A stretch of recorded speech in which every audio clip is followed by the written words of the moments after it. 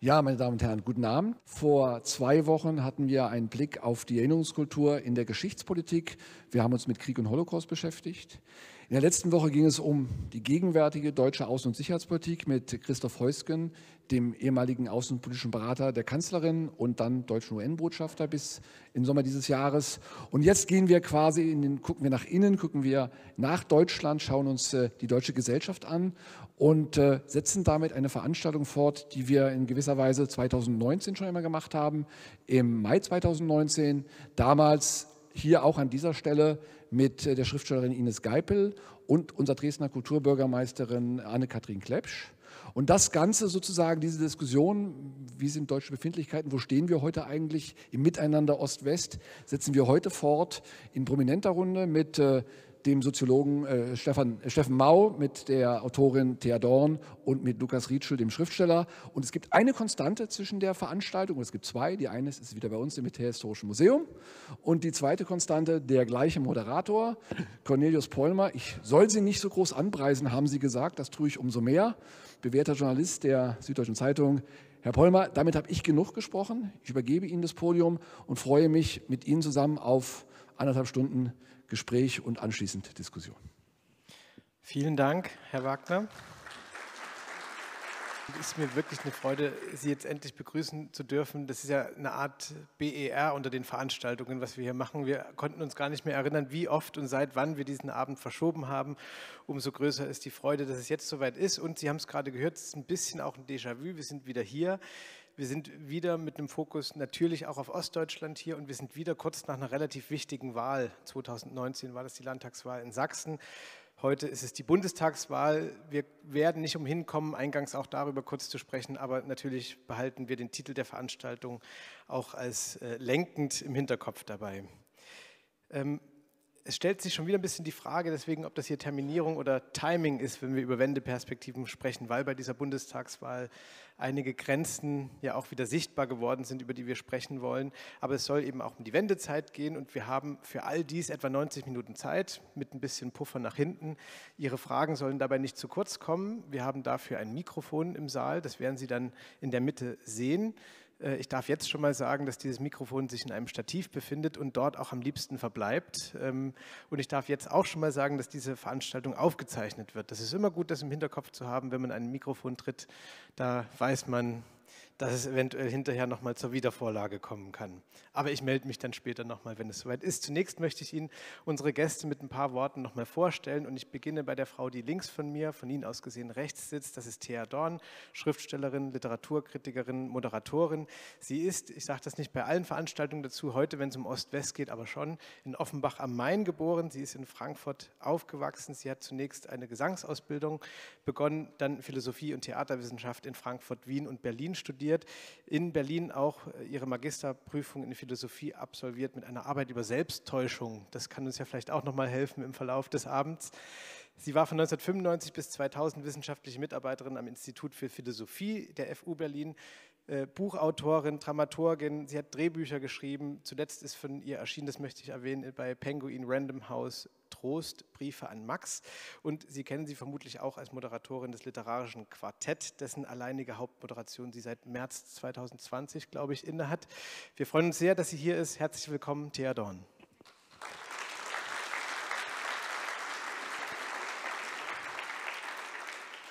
Neben ihr sitzt der Soziologe Steffen Mau. Er ist in Rostock geboren und auch aufgewachsen in der Neubausiedlung Lüttenklein. Das darf ich deswegen dazu sagen, weil er ein sehr lesenswertes Buch mit demselben Titel geschrieben hat. Ähm, Steffen Mau ist Professor für Makrosoziologie an der HU zu Berlin. Er hat dort auch studiert und er hat promoviert am Europäischen Hochschulinstitut in Florenz. Er war lange Zeit Professor für politische Soziologie an der Uni Bremen, beschäftigt sich viel mit Fragen der Transnationalisierung, der sozialen Ungleichheit und auch der Europäisierung. Gerade erschien bei ihm, von ihm bei CH Beck das Buch Sortiermaschinen, die Neuerfindung der Grenze im 21. Jahrhundert. Wir freuen uns sehr, dass Sie hier sind. Herzlich willkommen, Herr Mau.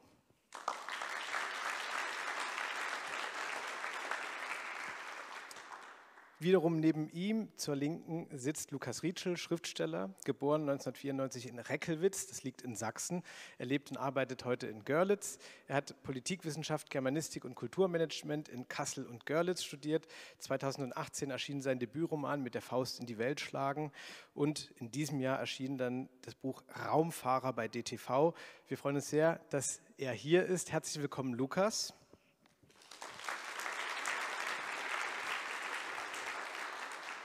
Und jetzt haben Sie schon gemerkt, dass ich ihn geduzt habe. Das möchte ich der Transparenz halber sagen, dass wir uns so gut kennen, dass es jetzt komisch gewesen wäre, Ihnen ein Sie vorzugaukeln. Dieses Du wird aber auf keinen Fall zu einer Bevorzugung hier im Podium führen. Das möchte ich Ihnen versprechen, das möchte ich vor allem dir versprechen, Lukas. Ähm, auch dies ist jetzt, weil wir ja aufgezeichnet werden, aktenkundig. Ähm, ich habe keine aktuelle Buchveröffentlichung meinerseits noch zu bewerben. Das werde ich nicht ganz so gut verkraften wie Sie. Das gibt uns aber jetzt auch die Chance, relativ zügig in diesen Abend einzusteigen wie besprochen, möchte ich das gerne mit der Wahl tun, die am Sonntag vor gut einer Woche stattgefunden hat. Und Herr Mau, vielleicht beginnen wir mal mit Ihnen. Sortiermaschinen, ich habe es gesagt, äh, Grenzen als Sortiermaschinen. Es gibt bei diesen Wahlen jetzt immer ganz viele Karten ähm, wie weibliche Erstwähler gewählt haben oder Menschen zwischen 40 und 63. Gibt es ganz, ganz viele verschiedene Arten, wie diese Wahlergebnisse aufbereitet werden. Ähm, haben Sie sich ein paar dieser Karten angeschaut und sind Ihnen Zusammenhänge aufgefallen, die Sie irgendwie interessant fanden? Ja, zunächst einmal natürlich die Zusammenhänge, die durch die Macher der Karten nahegelegt werden. Das sind ja zum Teil willkürliche Schwellen, die dann gezogen werden. Und äh, bei den meisten dieser Karten fällt natürlich schon eine doppelte Achse durch Deutschland auf, eine Ost-West-Achse und eine Nord-Süd-Achse. Und das ist so ein bisschen neu, weil wir bislang ja immer nur die Ost-West-Achse angeschaut haben. Und jetzt scheint sich auch im Osten doch ein Nord-Süd-Gefälle rauszubilden. Das geht ja jetzt um Fragen der Stärke von rechtspopulistischen Parteien, äh, im speziellen AfD, aber auch natürlich die Stärke der Sozialdemokratie. Da gibt es auch ein Nord-Süd-Gefälle. Und das gibt es im Osten wie im Westen auf unterschiedlichen Niveaus, aber das ist ganz interessant und das verkompliziert die Lage etwas. Frau Dorn, Sie hatten vor der Wahl in der Zeit noch so eine, weiß nicht, Generalabrechnung, sagt man, glaube ich, mit allen geschrieben. Also die Wähler seien kapriziös, ähm, Politik, Personenzirkus ähm, und der Wahlkampf als schlechte Variante von Germany's Next Topmodel. Ähm, das war so Ihre Betrachtung des Wahlkampfes. Ich fürchte, da können viele vieles unterschreiben. Wenn Sie jetzt das Wahlergebnis anschauen, sind Sie nochmal neuerlich enttäuscht oder äh, sind Sie froh? Was hat Ihnen das Wahlergebnis erzählt?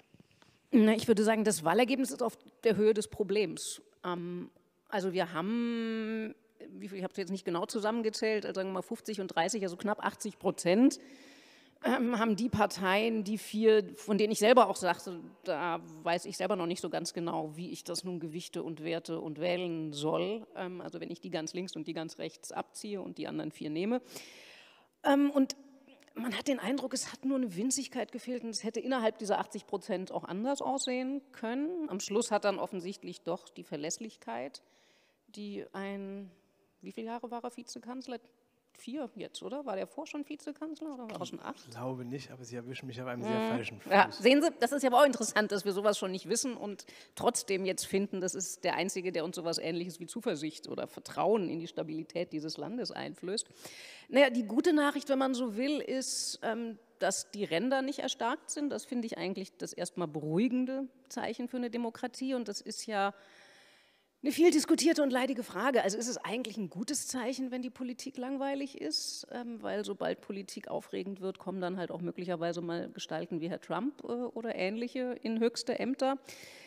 Also man muss jetzt gucken, die Frage wird sein, also einer meiner Hauptkritikpunkte war ja eben, dass wir, also wir leben, glaube ich, schon in einer wirklichen Umbruchsepoche und das ist also wenigstens in meiner Lebenszeit West, also das ist sicher eine andere Erfahrung im Osten.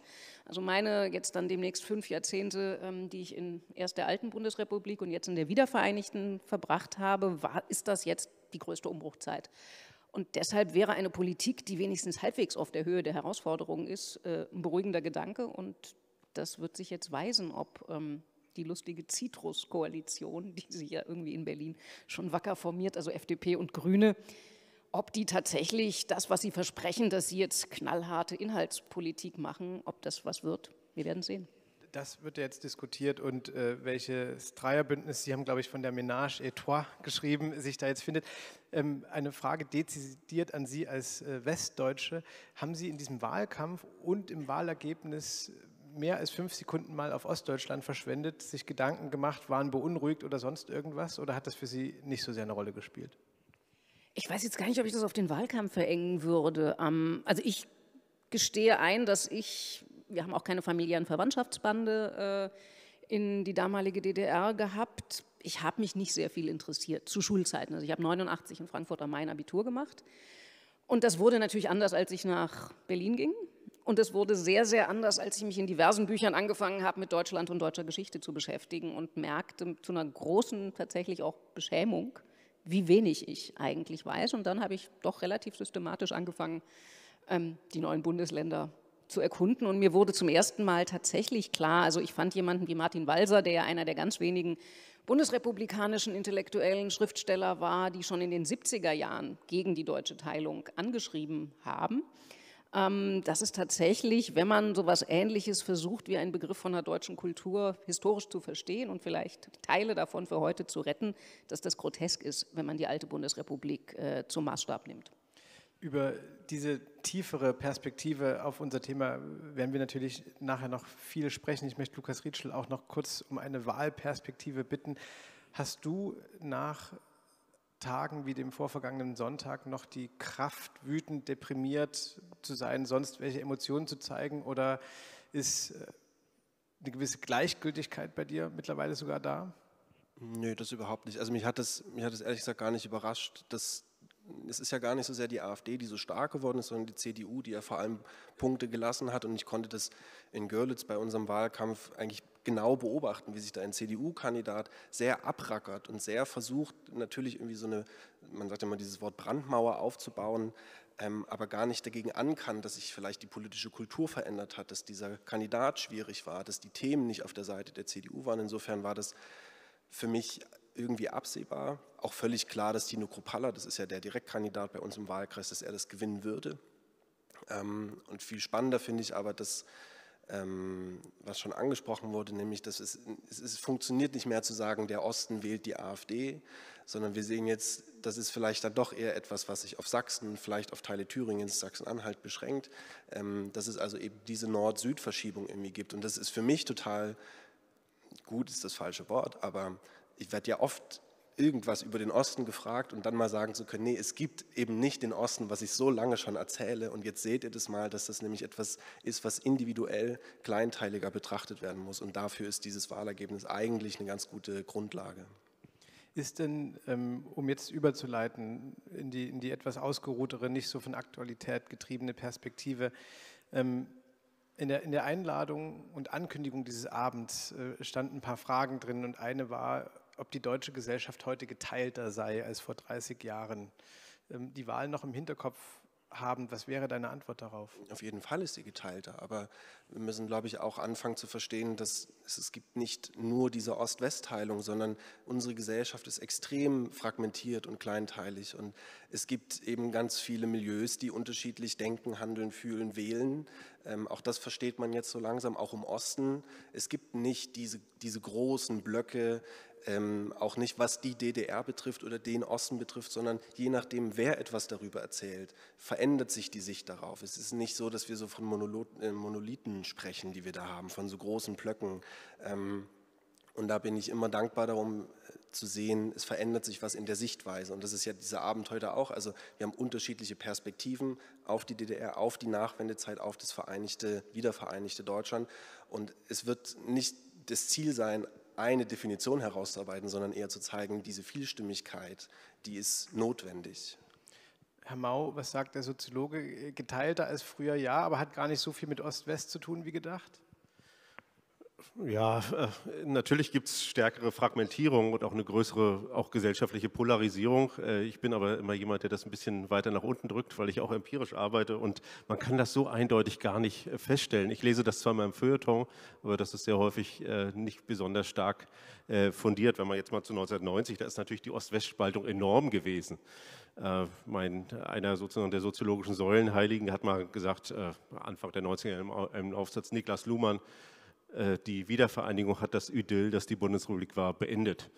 Und in gewisser Weise war das natürlich so, weil es auch die Blockkonfrontation beendet hat und äh, weil man dann plötzlich realisiert hat, ja, da müssen jetzt zwei antipodische Gesellschaften möglicherweise zusammenfinden und was Gemeinsames formen. Und das ist natürlich eine riesige Herausforderung, ist auch ein interessantes soziales und soziologisches Experiment. Äh, und äh, das hat ein bisschen äh, die Leute verwundert, dass da auch so viel zu tun ist in Bezug auf die Wiedervereinigung, weil sie gedacht haben, es ist ein naturwüchsiger Prozess, also dieses jetzt wächst zusammen, was zusammengehört, hat ja was völlig Falsches äh, suggeriert. Ich möchte vielleicht noch mal einen Schritt auf den gestrigen Tag äh, zurückkommen, den 3. Oktober. 31 Jahre deutsche Wiedervereinigung und die Bundeskanzlerin hat eine bemerkenswerte Rede gehalten, wo sie sozusagen aus einem Aufsatz zitierte in einer Publikation der Konrad-Adenauer-Stiftung, äh, wo äh, sie beschrieben wird und gesagt wird, sie musste mit dem Ballast ihrer Biografie erstmal in der CDU ankommen. Und das greift sie auf und definiert dann nach Duden, was eigentlich Ballast ist, also eine unnötige Last, die abzuwerfen sei. Und sagt, so ist die Biografie von vielen Leuten behandelt worden. Auf Twitter gibt es jetzt eine große Diskussion darüber, wer alles geklatscht hat nach ihrer Rede und wer nicht.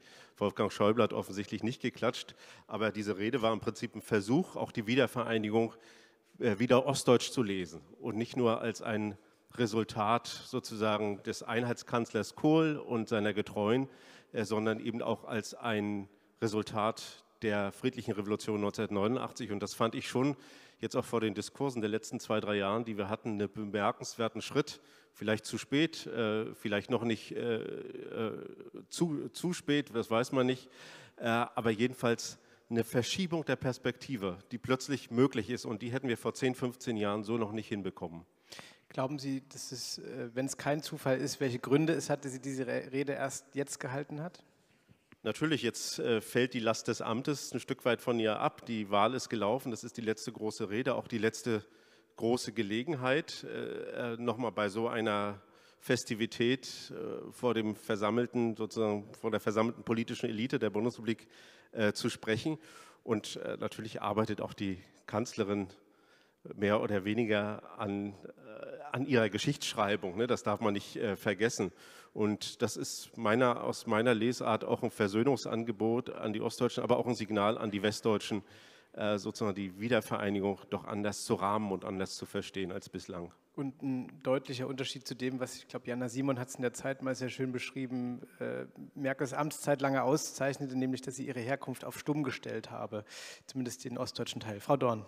Ähm also ich, die These ist zugegebenermaßen sehr steil, die ich jetzt riskiere, aber ich hätte noch eine andere Vermutung, womit dieser Switch bei Angela Merkel zu tun haben könnte.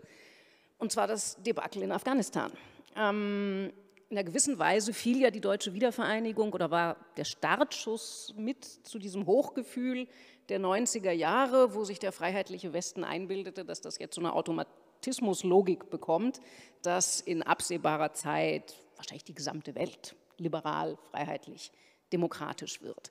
Und so gesehen war dieses System damals ganz klar, wähnte sich auf der Gewinnerspur, die sich auch in keiner Weise mehr selber hinterfragen, rechtfertigen, die eigenen Bruchlinien reflektieren muss. Und mein Blick, also ich bin gespannt, wie wir in fünf oder zehn Jahren dann auf dieses Jahr jetzt zurückgucken, das meine ich auch mit der Epochenumbruchzeit, in der wir sind. Also meine Erfahrung als ein Kind des alten Westens ist, dass diese Lebensform, in der ich aufgewachsen bin, noch nie so unter Frage und unter Beschuss stand, wie sie in den letzten einem Jahr bis eineinhalb Jahren geraten ist.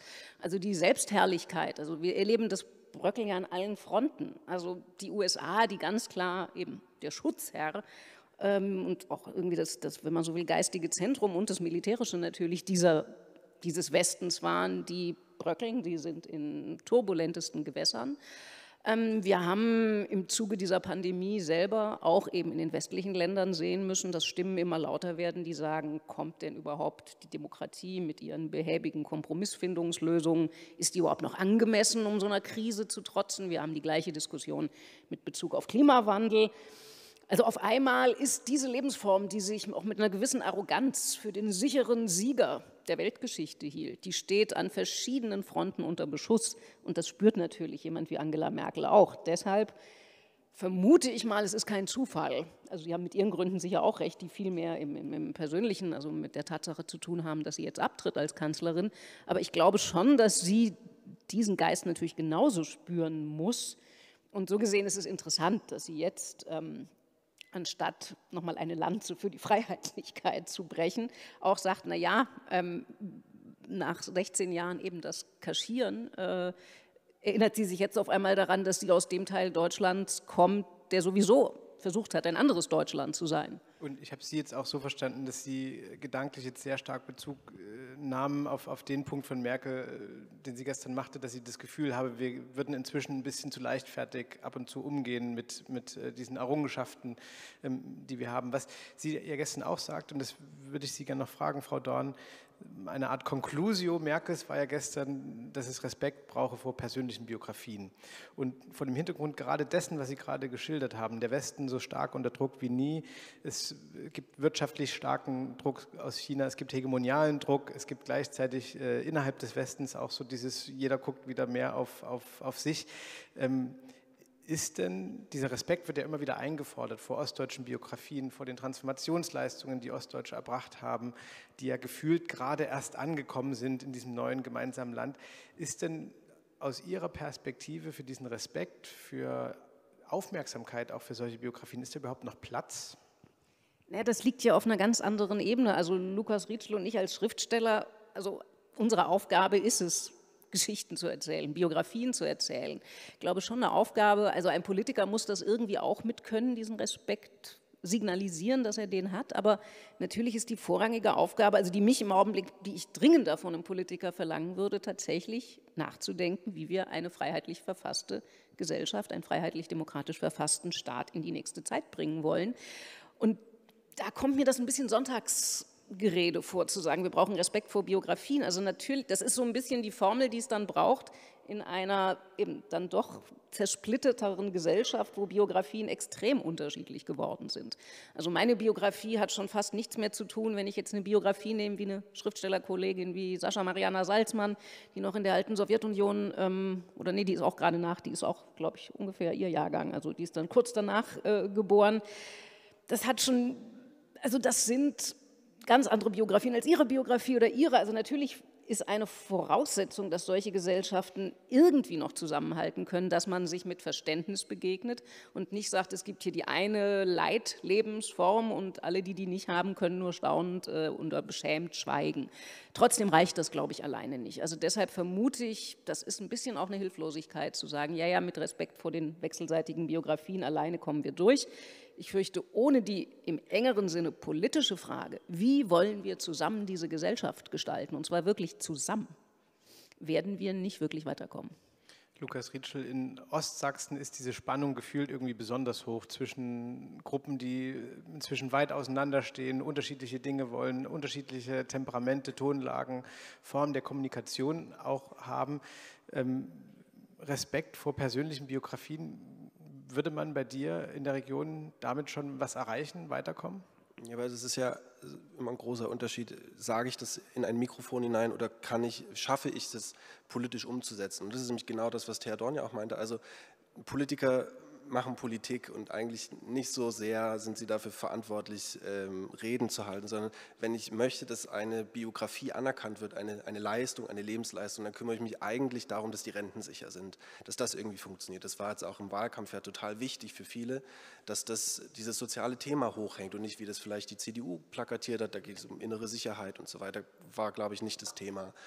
Und ich merke ja bei uns zu Hause jetzt, dass dieser ganze Kohleausstieg auch Leute beschäftigt. Das ist nun nicht so, gestern war das auch, es lief im ZDF eine, ähm, eine, eine Serie, wie jetzt ganz viel um den Tag der deutschen Einheit herum ganz oft und intensiv auf den Osten geschaut werden. Die hieß jetzt einfach nur äh, die Lausitz.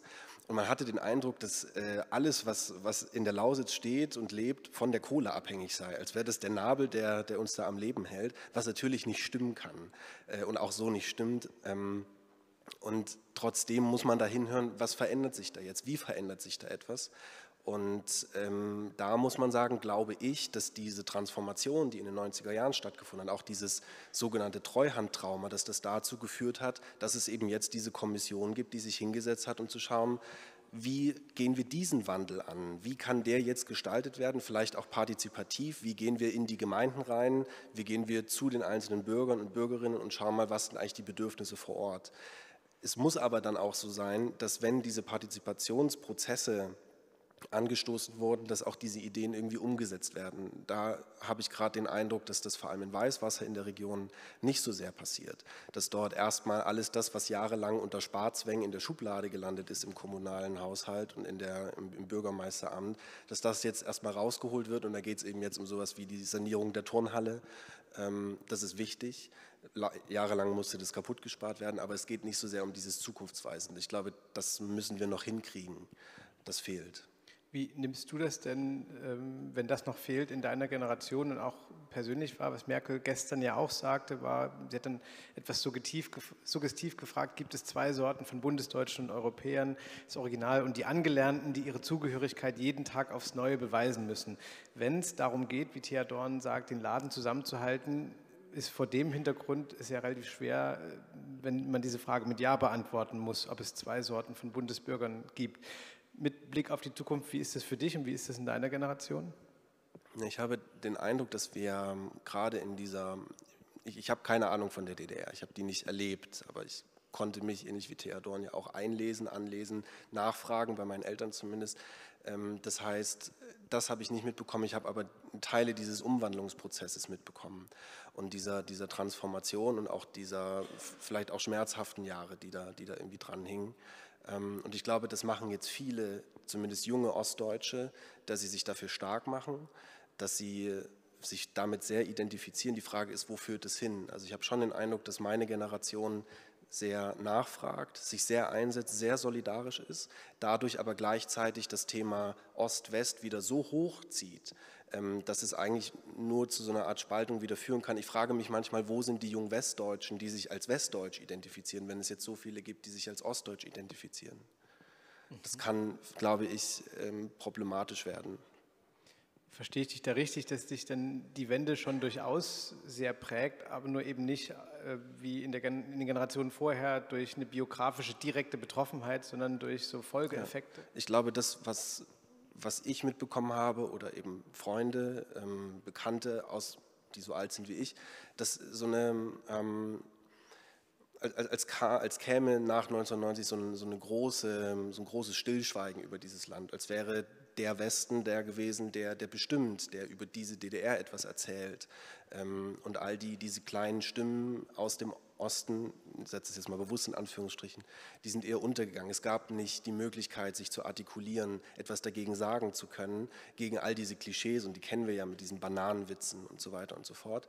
Ähm, das heißt, die Elterngeneration hat das getroffen, mich nicht so sehr, aber im Gegensatz zu vielleicht den Eltern und Großeltern habe ich, haben andere in meinem Alter die Chance, das nochmal zu thematisieren, das nochmal anzusprechen, dort vielleicht auch die Verfehlungen aufzuzeigen. Und das ist, glaube ich, etwas, was jetzt erst geschehen kann mit diesem nachgerückten Blick. Herr Mau, bevor ich Sie frage, wie Sie es heute wahrnehmen, die persönliche Frage, was wenn Sie jemand fragt, der jemand bin jetzt ich, was Ihnen die Wende bedeutet persönlich, was fällt Ihnen da als erstes ein?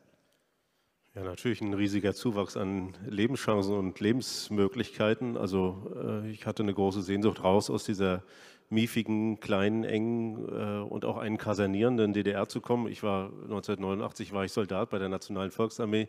Hier in dem Museum kann man das ja sagen wahrscheinlich.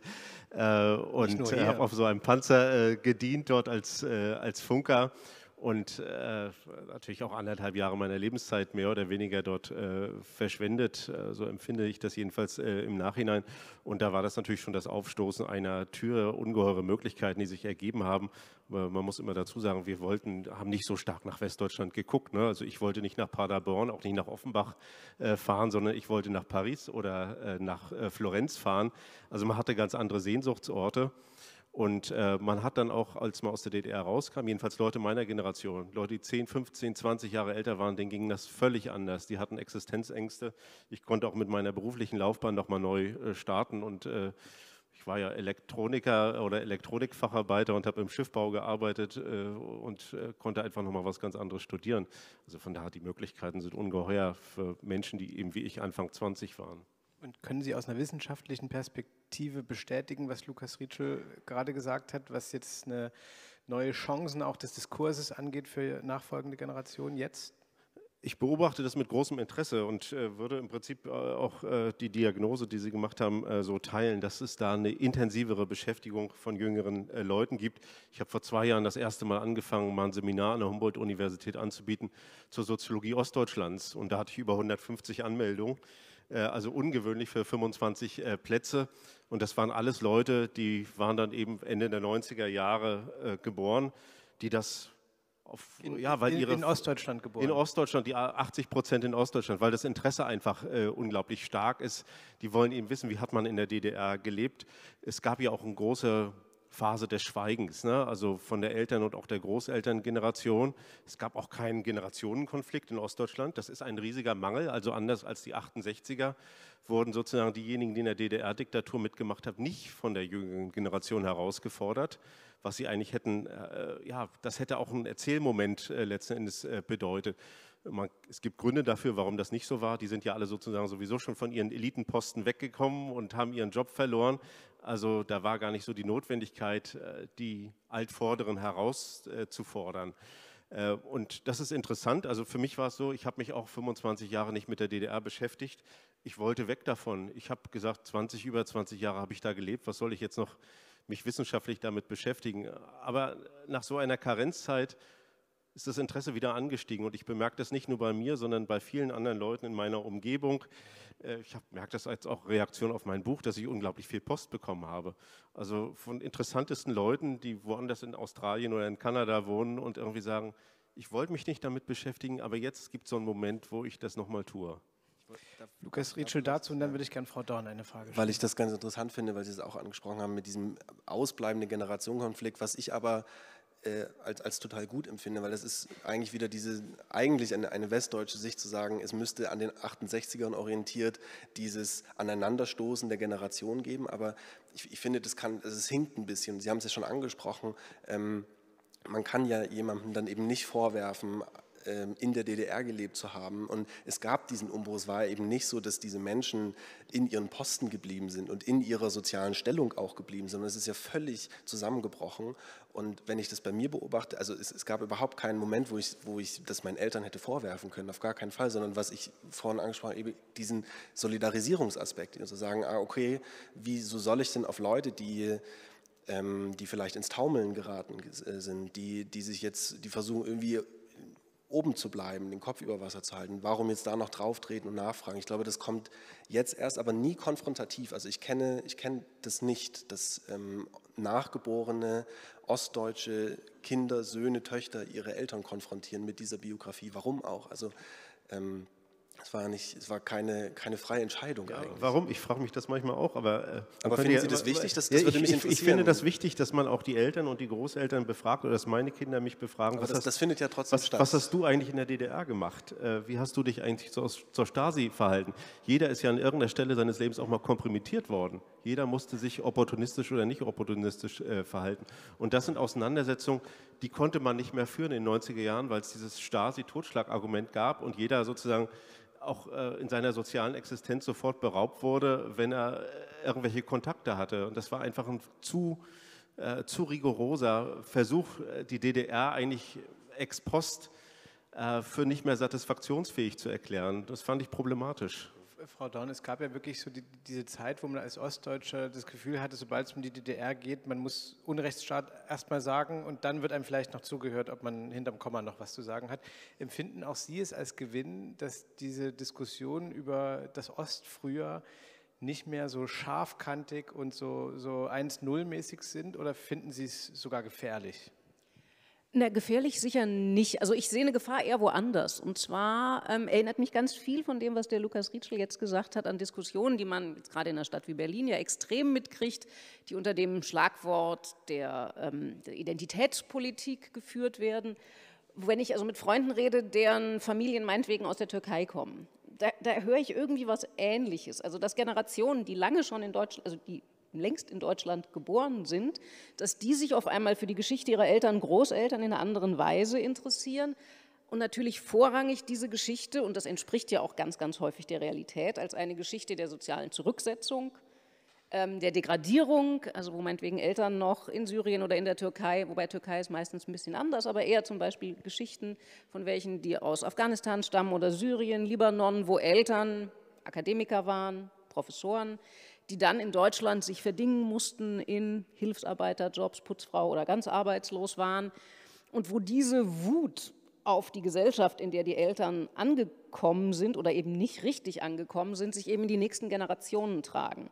Und da bin ich mir eben, also da sehe ich eher eine Gefahr, wenn so eine, also so wichtig das ist, dass es dieses Nachfragen in den Familien gibt, dass es ein Interesse dafür gibt, wenn das dazu führt, dass in einer Generation, die, wo ich erstmal in aller Vorsicht sagen würde, die in der Zeit, wo sie geboren wurde, nicht mehr diese krassen Diskriminierungen erlebt hat, die vielleicht ihre Eltern oder äh, Großeltern in dieser Gesellschaft erlebt haben, wenn die das mitnehmen, dieses Gefühl der Eltern und sagen, wir müssen quasi deren Kampf durch Aggressivität gegen die jetzige Gesellschaft ausfechten. Also dann erleben wir, also das, das, große Schlagwort ist ja dann die, die Critical Whiteness, also ein kritisches Reflektieren der eigenen privilegierten weißen Situation. Und im Grunde kann das zu sowas wie, wie Critical Westness führen, also zu sagen, jeder Westler muss eigentlich jetzt kritisch reflektieren dass er immer eine privilegierte Position hatte und deshalb salopp gesagt mal die nächsten 10, 15 Jahre viel, viel kleinere Brötchen backen. Ich, ich, ich und ich will dagegen gar nicht polemieren. Ich glaube, da ist sogar was dran, weil also die Frage, die, die Sie Herrn Mau gestellt haben, das ist so, also der Westler hielt sich für normal. Und deshalb hat er sich natürlich nicht reflektiert. Das war die normale Gesellschaftsform und das war die abweichende Gesellschafts- und Staatsform. Und das ist natürlich ein Problem in, in ganz vielen Hinsichten. Also auch in der Hinsicht, wenn wie mir, also ich bin eine überzeugte Anhängerin einer freiheitlich verfassten Gesellschaft, wenn man das aber einfach für normal hält, anstatt sich klarzumachen, dass das historisch und wenn man sich auf der Welt umschaut, ein verrückter Sonderfall ist und dass es in der Regel erhebliche Anstrengungen braucht, um verrückte Sonderfälle. Es ist mitnichten die Normalität. Und das ist ja eben nicht nur das Problem der Arroganz, dass man eben nicht reflektiert, dass es völlig andere Biografien gibt, sondern auch eine Dummheit, weil man diese Lebensform letztlich nicht verteidigen kann. Sorry, nicht verteidigen kann, wenn man sie irgendwie bräsig sagt, nö, das ist ja eh das Normale. Und deshalb, also das ist ein riesiges Problem, aber also unwohl wird mir, wenn ich ähm, wittere, dass wir vielleicht eben parallel zu diesen sehr, sehr aufgeheizten Debatten eben einer Critical Whiteness, wie sie aus Amerika gekommen sind, jetzt eben möglicherweise mit Blick nach Osten, sagen, eine, eine Critical Westness-Perspektive ja. da noch da drauf kriegen. Ähm, ja. Sie müssten es aus meiner Perspektive jetzt sehen, dass, äh, es, es, sind so zwei Augenpaare, die einfach nur schreien, ich will sprechen. Ich muss mich trotzdem kurz, ich muss mich kurz noch dazwischen schieben.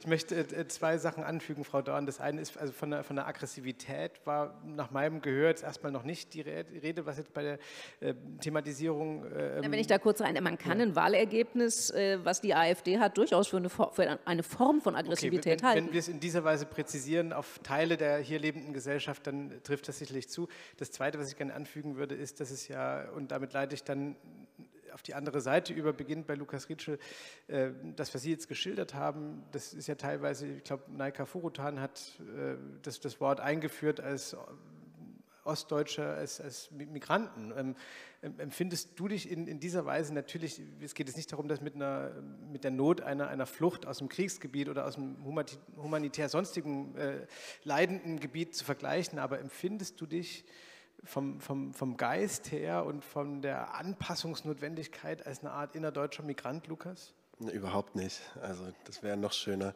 Nee, also, nee, null. Also ich, ich finde auch, ich bin da ganz bei Ihnen, Frau Dorn, ähm, dass diese ähm, Identifikation mit anderen schwierig sein kann oder mit, mit ähm, auch den Entmündigungserfahrungen, die andere gemacht haben. Ich glaube, dass diese Solidarität total wichtig ist, aber das auf die eigene Biografie anzuwenden schwierig. Und deswegen meinte ich auch vorhin, ähm, warte ich dann eigentlich drauf, dass diese Trotzreaktion der, der Westdeutschen nach Wendegeborenen kommen und sagt, nee, dann sind wir aber auch jetzt die Westdeutschen. Weil wenn man dann die Ostdeutschen und dann sind die Westdeutschen und, dann, und das fände ich so schwierig, weil dieser Konflikt, den meine Eltern immer überwinden wollten, also alles, was sie wollten, ist eigentlich in einem geeinten Deutschland ankommen, alles dafür zu tun, dass der wieder aufgeheizt wird. Und das finde ich so schwierig an dieser ähm, nachträglichen Identifikation mit Ost und West, nämlich ähm, dass, dass dieser große Wunsch des Zusammengehörens wieder so ein bisschen konterkariert wird. Und das sind dann Stellvertreterkämpfe, die ich auch in meiner Generation wahrnehme und die etwas Spaltendes haben und von denen ich mir wünschte, dass sie eine Perspektive aufzeigen, nämlich wo kommt dann wieder das Gemeinsame, das Verbindende. Ähm, ich bin da zum Glück weit genug aus der Großstadt weg und auch aus Berlin weg, um all diese Diskussionen nicht mitzubekommen, aber ich erlebe zumindest, dass beim Thema Osten auch ich sehe es kritisch. Aber kurz bevor ich zu Herrn Mau gehe, es ist ja nicht nur ein Hirngespinst, weil was es ja nach wie vor gibt, ist zum Beispiel eine, eine statistisch evidente wirtschaftliche Zurücksetzung des Ostens. Also aus Leipzig wird einem berichtet, dass dann die die westdeutschen StudentInnen, die kommen äh, in die dann von den Eltern bei dieser Gelegenheit gekauften Eigentumswohnung äh, und, und, lassen sich dann in den Bars von ostdeutschen Studenten bedienen, die äh, sich noch was fürs Studium verdienen müssen. Also es, es, gibt doch nach wie vor verlängerte Unterschiede, die äh, aus der deutschen Teilung resultieren. Kann man über die einfach hinweggehen? Nee, das, was wir ja gerade besprochen haben, ist eher die, die, die gefühlte Teilung und das Gefühlte dazugehören und das andere was du jetzt aufzeigst, ist ja das, was man, was man vielleicht eher messen kann, das, wo, wo die Unterschiede noch sichtbar sind. Ich finde, das sind zwei unterschiedliche Diskussionen, eigentlich zwei unterschiedliche Seiten. Aber gehört nicht zusammen? Also Natürlich gehört es zusammen, aber gerade waren wir ja woanders, okay, deswegen... Dann, dann ja. bitte gerne, wenn es sich aus deiner Sicht ergibt, äh, darauf nur zurückkommen, aber Herr Mau, ich wollte es jetzt nicht hier außen vor lassen. Ja, ich bin ja auch ein Skeptiker so einer ostdeutschen Identitätspolitik und äh, denke, man darf das nicht überreizen. Wir reden natürlich auch über soziale Ungleichheiten und die sind de facto vorhanden. Also wenn man sich jetzt mal Immobilieneigentum anguckt, wenn man sich die Erbschaften anguckt, wo es in Ostdeutschland nicht, nichts gibt, wenn man sich die deutschen, die bundesdeutschen Eliten anschaut, äh, letzte Elitenstudie jetzt in meinem Feld in der Wissenschaft, äh, da waren von 300 Eliten, also das sind äh, ja, Direktoren von Max-Planck-Instituten, Fraunhofer-Instituten, äh, Universitätspräsidentinnen und Präsidenten, da waren zwei aus Ostdeutschland von 300. Und so kann man im Prinzip im Militär ist das ganz genauso. Ich glaube, da gibt es gar keinen Ostdeutschen in dieser Elitenstatistik. Äh, also äh, das ist in allen gesellschaftlichen Bereichen. Und wir haben natürlich gedacht in den 90er Jahren, ja, da kommen jetzt erstmal die Transfereliten, die machen das im Osten und dann wächst aus dem Osten etwas nach. Aber wenn man ein bisschen soziologisch denkt, dann weiß man, dass so Elitenreproduktion natürlich sehr häufig Selbstreproduktion ist. Und äh, äh, ja, das wäre schon längst politisch skandalisiert, wenn die Ostdeutschen physiognomisch erkennbar wären. Wenn die eine andere Haarfarbe oder Augenfarbe oder eine Ohrenform hätten, dann hätten wir das politisch skandalisiert. Aber dadurch, dass das unsichtbar ist, äh, kann das nicht politisch zum Thema gemacht werden. Das heißt, das müssen erstmal äh, Leute äh, zusammensuchen und zusammensammeln. Und das wird über die Zeit als auch verschwinden, weil nachher gar nicht mehr zuordnenbar ist, wer eigentlich aus dem Osten und wer aus dem Westen kommt. Und auch zu Recht natürlich, es gab ja auch viel innerdeutsche Mobilität.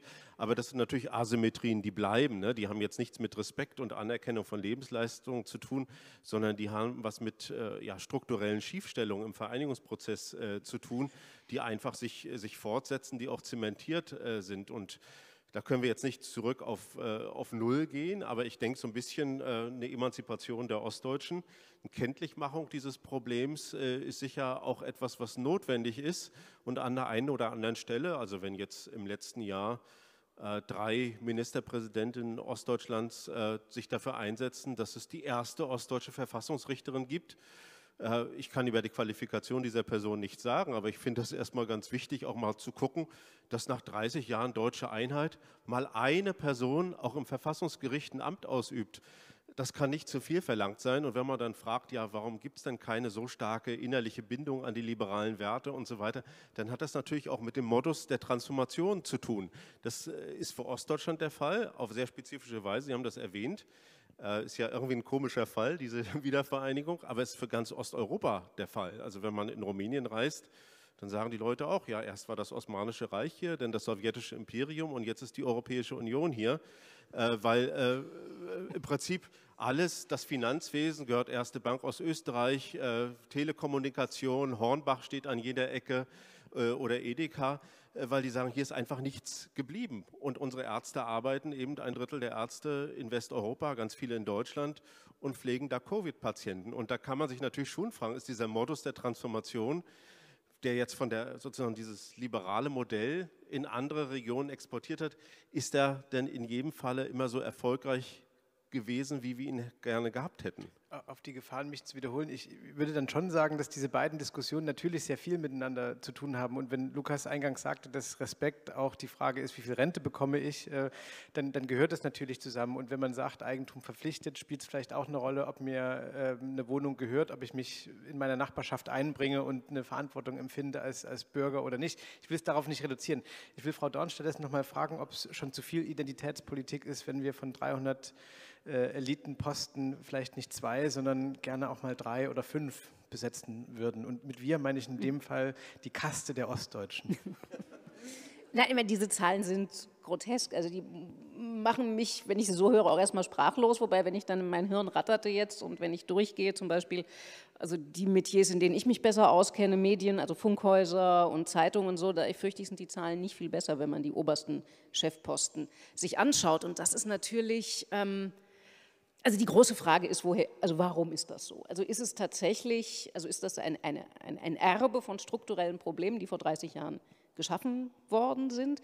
Ist es auch eine Distanz und ein Vorbehalt? Also muss man möglicher, also oder sind es die soll ich sagen, Durchsetzungs- und Kampfformen, die unsere Betriebe erfordern. Also das ist ja eine ähnliche Diskussion. Ähm, also wo sind, also Frauen gibt es ja wahrscheinlich bei den 300 auch nicht viel mehr als 50, würde ich jetzt mal tippen. Interessanterweise überproportional viele Frauen. Was heißt überproportional viele? Na, ich sage mal ein, ein Beispiel. Äh, wir wissen, dass bei 10 Prozent der DAX-Vorstände mhm. sind Frauen. Bei den ostdeutschen DAX-Vorständen sind es 75 Prozent, aber die Gesamtsumme, sozusagen das N, wie wir das gerne nennen, sind nur vier. Ne? Also mhm. drei von vier DAX-Vorständen sind Frauen. Okay, aber ich glaube, Frau Dorn meint, also Sie meinen jetzt unter den Ostdeutschen sind ja. die Frauen überproportional, aber ja. Frau Dorn meinte, glaube ich, auf die okay, auf das ja, nein, nein, nein, Ich meinte jetzt genau auf die 300 gerechnet, vermute ich mal, dass nicht 150 davon, was gesellschaftlich ungefähr repräsentativ wäre, Frauen sind. Nein, auf keinen Eben, Fall. so.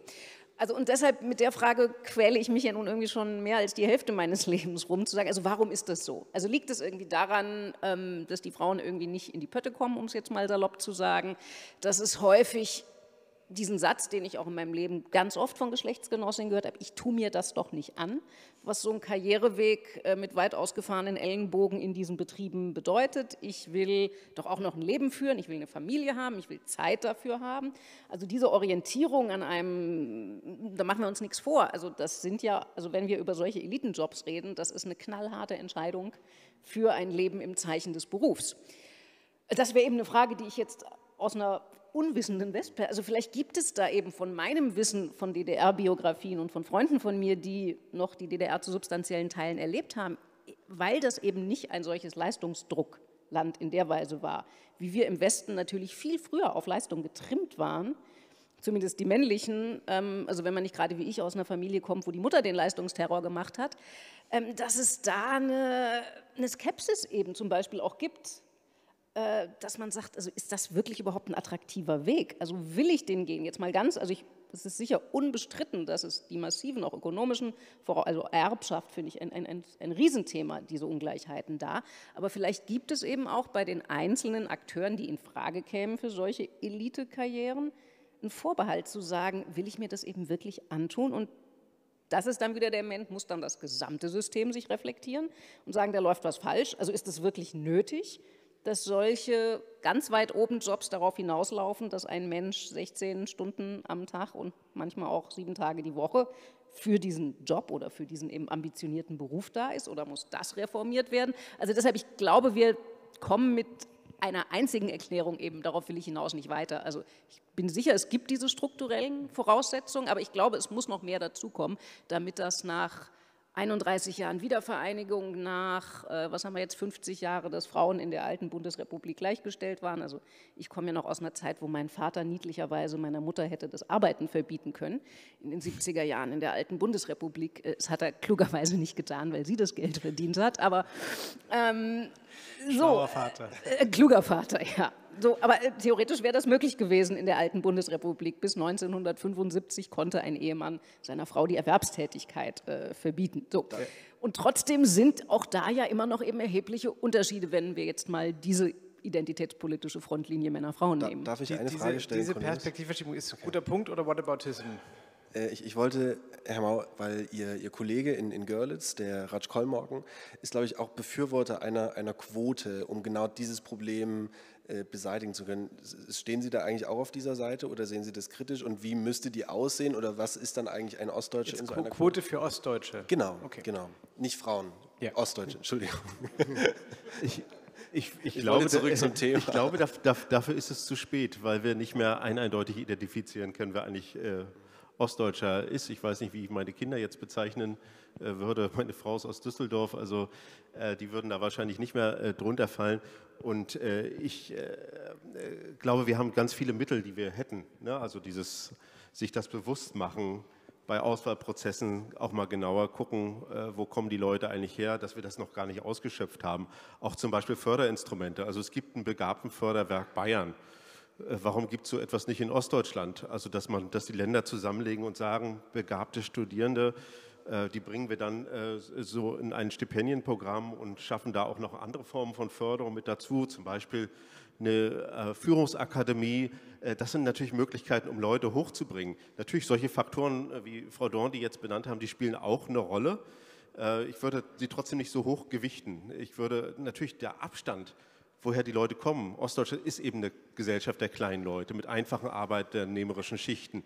Viele Leute haben nicht, äh, nicht Vermögen angehäuft. Es gibt fast keine bürgerliche Kultur. Und sozusagen der, der Abstand von der Herkunftsfamilie zu sozusagen so einer Elitenposition ist viel, viel größer, als wenn man schon aus der gehobenen Mittelschicht kommt. Und wir wissen das bei allen Elitestudien meines Kollegen Hartmann, der guckt immer, was eigentlich, ist da eigentlich der familiäre Hintergrund von Wirtschaftseliten zum Beispiel. Und da sieht man eben, 60 Prozent kommen eigentlich aus dem Großbürgertum. Also gar nicht jetzt aus der Mittelschicht, sondern die kommen aus sehr vermögenden, auch schon wirtschaftlich einflussreichen äh, Familien. Es gibt eine berühmte Studie eines amerikanischen Wirtschaftshistorikers und die heißt The Sun Also Rises. Und der schaut sich in fünf verschiedenen Gesellschaften an, über Jahrhunderte, wer eigentlich an der Spitze bleibt. In China, in Schweden, äh, in, in den USA. Und er macht das so mit sogenannten onomastischen Verfahren. Also der guckt die Namen an und versucht die über die Jahrhunderte zu verfolgen. Und da sieht man, selbst Bruch zum Kommunismus, selbst Ende sozusagen, oder faschistische Diktaturen, selbst Einführung der Sozialdemokratie in Schweden, äh, führt nicht dazu, dass diese Elitenkontinuität abbricht, sondern die Eliten schaffen es, sich über die Jahrhunderte, vier, fünf äh, Jahrhunderte, guckt er an, immer weit, immer oben zu bleiben. Und es ist ganz schwierig, dann da reinzukommen. Aber wenn es so viele also- Jahrhunderte geht, dann kann man ja auch irgendwie sagen, es ist eh egal. Also Da- dann darauf- leben darauf wir eigentlich jetzt- noch im Feudalismus oder jetzt was? gleich noch kommen. Dann sind Äh, wir ähm, eigentlich nach wie vor noch im Feudalismus, wenn wir jetzt ein paar Jahrhunderte zurückgehen. Zwei Zwischenbemerkungen. Die eine ist noch, um mich selbst dümmer zu machen, als ich hoffentlich bin. The sun also rises meint in dem Fall nicht die Sonne, sondern der Sohn steigt auch auf. Das zweite ist, dass ich Ihnen jetzt schon mal ähm, die Notiz geben möchte, dass Sie sich jetzt gerne mit Ihren Fragen gleich einbringen dürfen. Und zuvor möchte ich diese Vergeblichkeitsnotiz, Frau Dorn, die ich gerade rausgehört habe, noch aufgreifen und so eine klassische Wie-weiter-Frage an, an Sie drei noch kurz richten. Ähm, man könnte ja jetzt auch sagen, ähm, Vielleicht müssen die Ostdeutschen einfach jetzt untereinander, also wer sich auch immer als Ostdeutsch äh, betrachtet, ähm, untereinander irgendwie das mit, mit sich jetzt klären und sich äh, zuhören, sich erzählen etc. Wäre das, ähm, ohne dass der, der alte Westen zuhören muss, wäre das vor dem Hintergrund dessen, was Sie eingangs des Abends gesagt haben, nämlich, dass wir alle irgendwie den Laden zusammenhalten müssen, wäre das eine Perspektive oder eher keine? Nein, warum denn, um Himmels Willen? Also warum soll der Westen da nicht zuhören? Äh, Vielleicht, weil er keine Lust hat und wir ihn nicht zwingen können. Naja, also Borniertheit ist selten eine gute Idee in Situationen, in denen man grundsätzlicher über sich und seine Lebensform nachdenken sollte. Äh, Also ich muss zum Beispiel gestehen, ein Roman wie der von Jenny Erpenbeck, Kairos, der jetzt vor wenigen Wochen erschienen ist, den ich grandios fand, wo ich merkte, dass so ein Roman mir auch nochmal einen ganz anderen Blick auf eine DDR-Geschichte eröffnet, also durch diese wilde Amour fou, wilde Liebesgeschichte zwischen einem, der an die DDR geglaubt hat, der nach dem Zweiten Weltkrieg, ein älterer Schriftsteller, der in, bewusst aus dem Westen kommt, in, nach Ostberlin gegangen ist, weil er dieses Deutschland und eben nicht das bundesrepublikanische aufbauen wollte. Und das eng geführt mit einer, also durch die Liebesgeschichte mit der viel jüngeren Frau, die eher so Jahrgang 70 ist und kein groß emotionales Verhältnis mehr zu dieser DDR hatte. Und wie das ineinander, also das war für mich wirklich nochmal eine Erweckung. Und warum um Himmels Willen sollte man da nicht, also das lege ich jedem, auch Westdeutschen, ich lege es eh jedem ans Herz, weil es ein grandioser Roman ist, aber auch ganz besonders jedem Westdeutschen, Und zu sagen, da kapiert man auch nochmal, also was Sie ja sagten, man muss erstmal Unrechtsstaat sagen, damit man überhaupt im Diskurs bleibt. Das, glaube ich, unterschätzen auch ganz viele im Westen, den erstmal, also bei all dem, was in diesem Staat definitiv schiefgegangen ist namens DDR, aber erstmal diesen utopischen Gründungsversuch zu sagen, eben wir wollen nicht die Wurstelvariante unter den Fittichen der USA, sondern da kommen Leute hin, die wirklich daran glauben, dass sie ein besseres, und das meine ich überhaupt nicht sarkastisch, dass sie ein besseres Deutschland aufbauen können. Dass das dann im Laufe der Jahrzehnte sich als Propaganda enttarnt hat und eben häufig nicht der Fall war, dass es wirklich das bessere Deutschland ist. Aber dass diese Utopie einfach erstmal ernst zu nehmen ist. Also dass das ein utopischer Versuch auch war, der tragisch gescheitert ist, weil das erzählt ja die Erpenbeck in diesem Roman. Aber er konnte nur tragisch scheitern, weil es erstmal ein utopischer Versuch war. Und dafür würde ich auch sagen, das ist jetzt nicht der Respekt auf der Ebene der persönlichen Biografien, sondern das ist, wenn man so will, auch erstmal ein politischer Respekt. Und wie ich schon zum Eingang sagte, in einer Phase, wo der Westen wirklich verdammt im Wind steht, aus verschiedensten Ecken, finde ich es doppelt interessant und nötig, sich das anzugucken und zu sagen, warum ist ein Staat, weil möglicherweise ist der nächste Staat, der im Kern ein utopisches Projekt hat, nämlich der Glauben an die Freiheitlichkeit des Menschen, gerade das nächste, was den Bach runtergeht. Deshalb kann man ja nur lernen, wenn man begreift, wie Staaten, die mal einen utopischen Kern hatten und sich nicht darauf berufen konnten, dass es eben schon immer so war, äh, wie das, was passieren kann und was man dann sich eben politisch umgekehrt fragen muss, wie können wir das verhindern? Dass entweder der utopische Kern sich selber verrät, indem er eben überhaupt nichts Utopisches mehr hat, sondern Aspekte von einem Unrechtsstaat kriegt, ähm, oder indem ein Westen einfach nur noch eine hohle Behauptung ist, die mit keinem Leben mehr gefüllt ist, die blind ist für die Ungerechtigkeiten, die sie geschaffen hat. Und deshalb unbedingt, äh, also nicht abschotten, nicht sagen, macht jetzt hier ostdeutsche Diskutierkreise und der Westen soll was auch immer machen, weiter einkaufen gehen oder ich habe keine Ahnung was äh, oder irgendwas auf Instagram posten, was Lustiges, sondern natürlich müssen wir das zusammen diskutieren. Das war das Wie weiter Angebot von Thea Dorn. Wie lautet deines, Lukas? Ich glaube, das ist so ein bisschen vergleichbar wie jetzt diese, diese Vorsondierung der, der FDP mit den Grünen. Also ich glaube schon, dass man sich erstmal erstmal untereinander klar werden muss. Und ich erlebe das bei, bei Lesungen im Osten ganz häufig, dass, dass so ein unglaubliches Redebedürfnis da ist, ähm, sich zu erzählen, was man erlebt hat. Und nicht nur, das betrifft nicht nur die DDR, sondern eben jetzt mittlerweile auch diese jetzt über 30 Jahre danach und diese Transformation und was da eigentlich stattgefunden hat und ähm, was ja eine wirklich unglaubliche Leistung ist. Und es ist ja in, in, der Weltgeschichte, manchmal muss man das noch ein bisschen größer packen, aber in der Weltgeschichte gab es sowas noch nicht. Die, diese Art von Transformationsleistung, die hier stattgefunden hat, ist auch einmalig. Ähm, und ich finde, dass das wichtig ist, sich darüber zu verständigen. Und zwar mittlerweile, und das war lange Zeit nicht möglich, abseits von Achtung Stasi und Achtung Mangelwirtschaft und oh, gab ja keine Bananen und so weiter und so fort, sondern abseits dieser Klischees. Also man sagt auch beim, beim Schreiben oder auch beim Film, man kann beim Klischee anfangen, aber man darf nicht beim Klischee enden. Und das ist eigentlich das Tolle, dass man, glaube ich, mit dieser sich selber zu beschäftigen, total hilfreich sein kann. Erstmal mit sich zu diskutieren, und auch da zu merken, es gibt nicht diese eine Biografie, es gibt nicht diese eine DDR, nicht diese eine Nachwende, sondern das ist so vielfältig wie die Menschen, die in diesem Land gelebt haben. Ähm, und dann kann man, glaube ich, sehr viel gefestigter auch dem Westen sich gegenüber hinstellen, sagen, nee, das, das war so, das ist unsere Eigenheit, das ist auch okay, das war lang genug so, dass das so ein Stigmata war und jetzt ist es halt so. Und das finde ich total wichtig, ähm, dieses dann doch mit sich selber beschäftigen.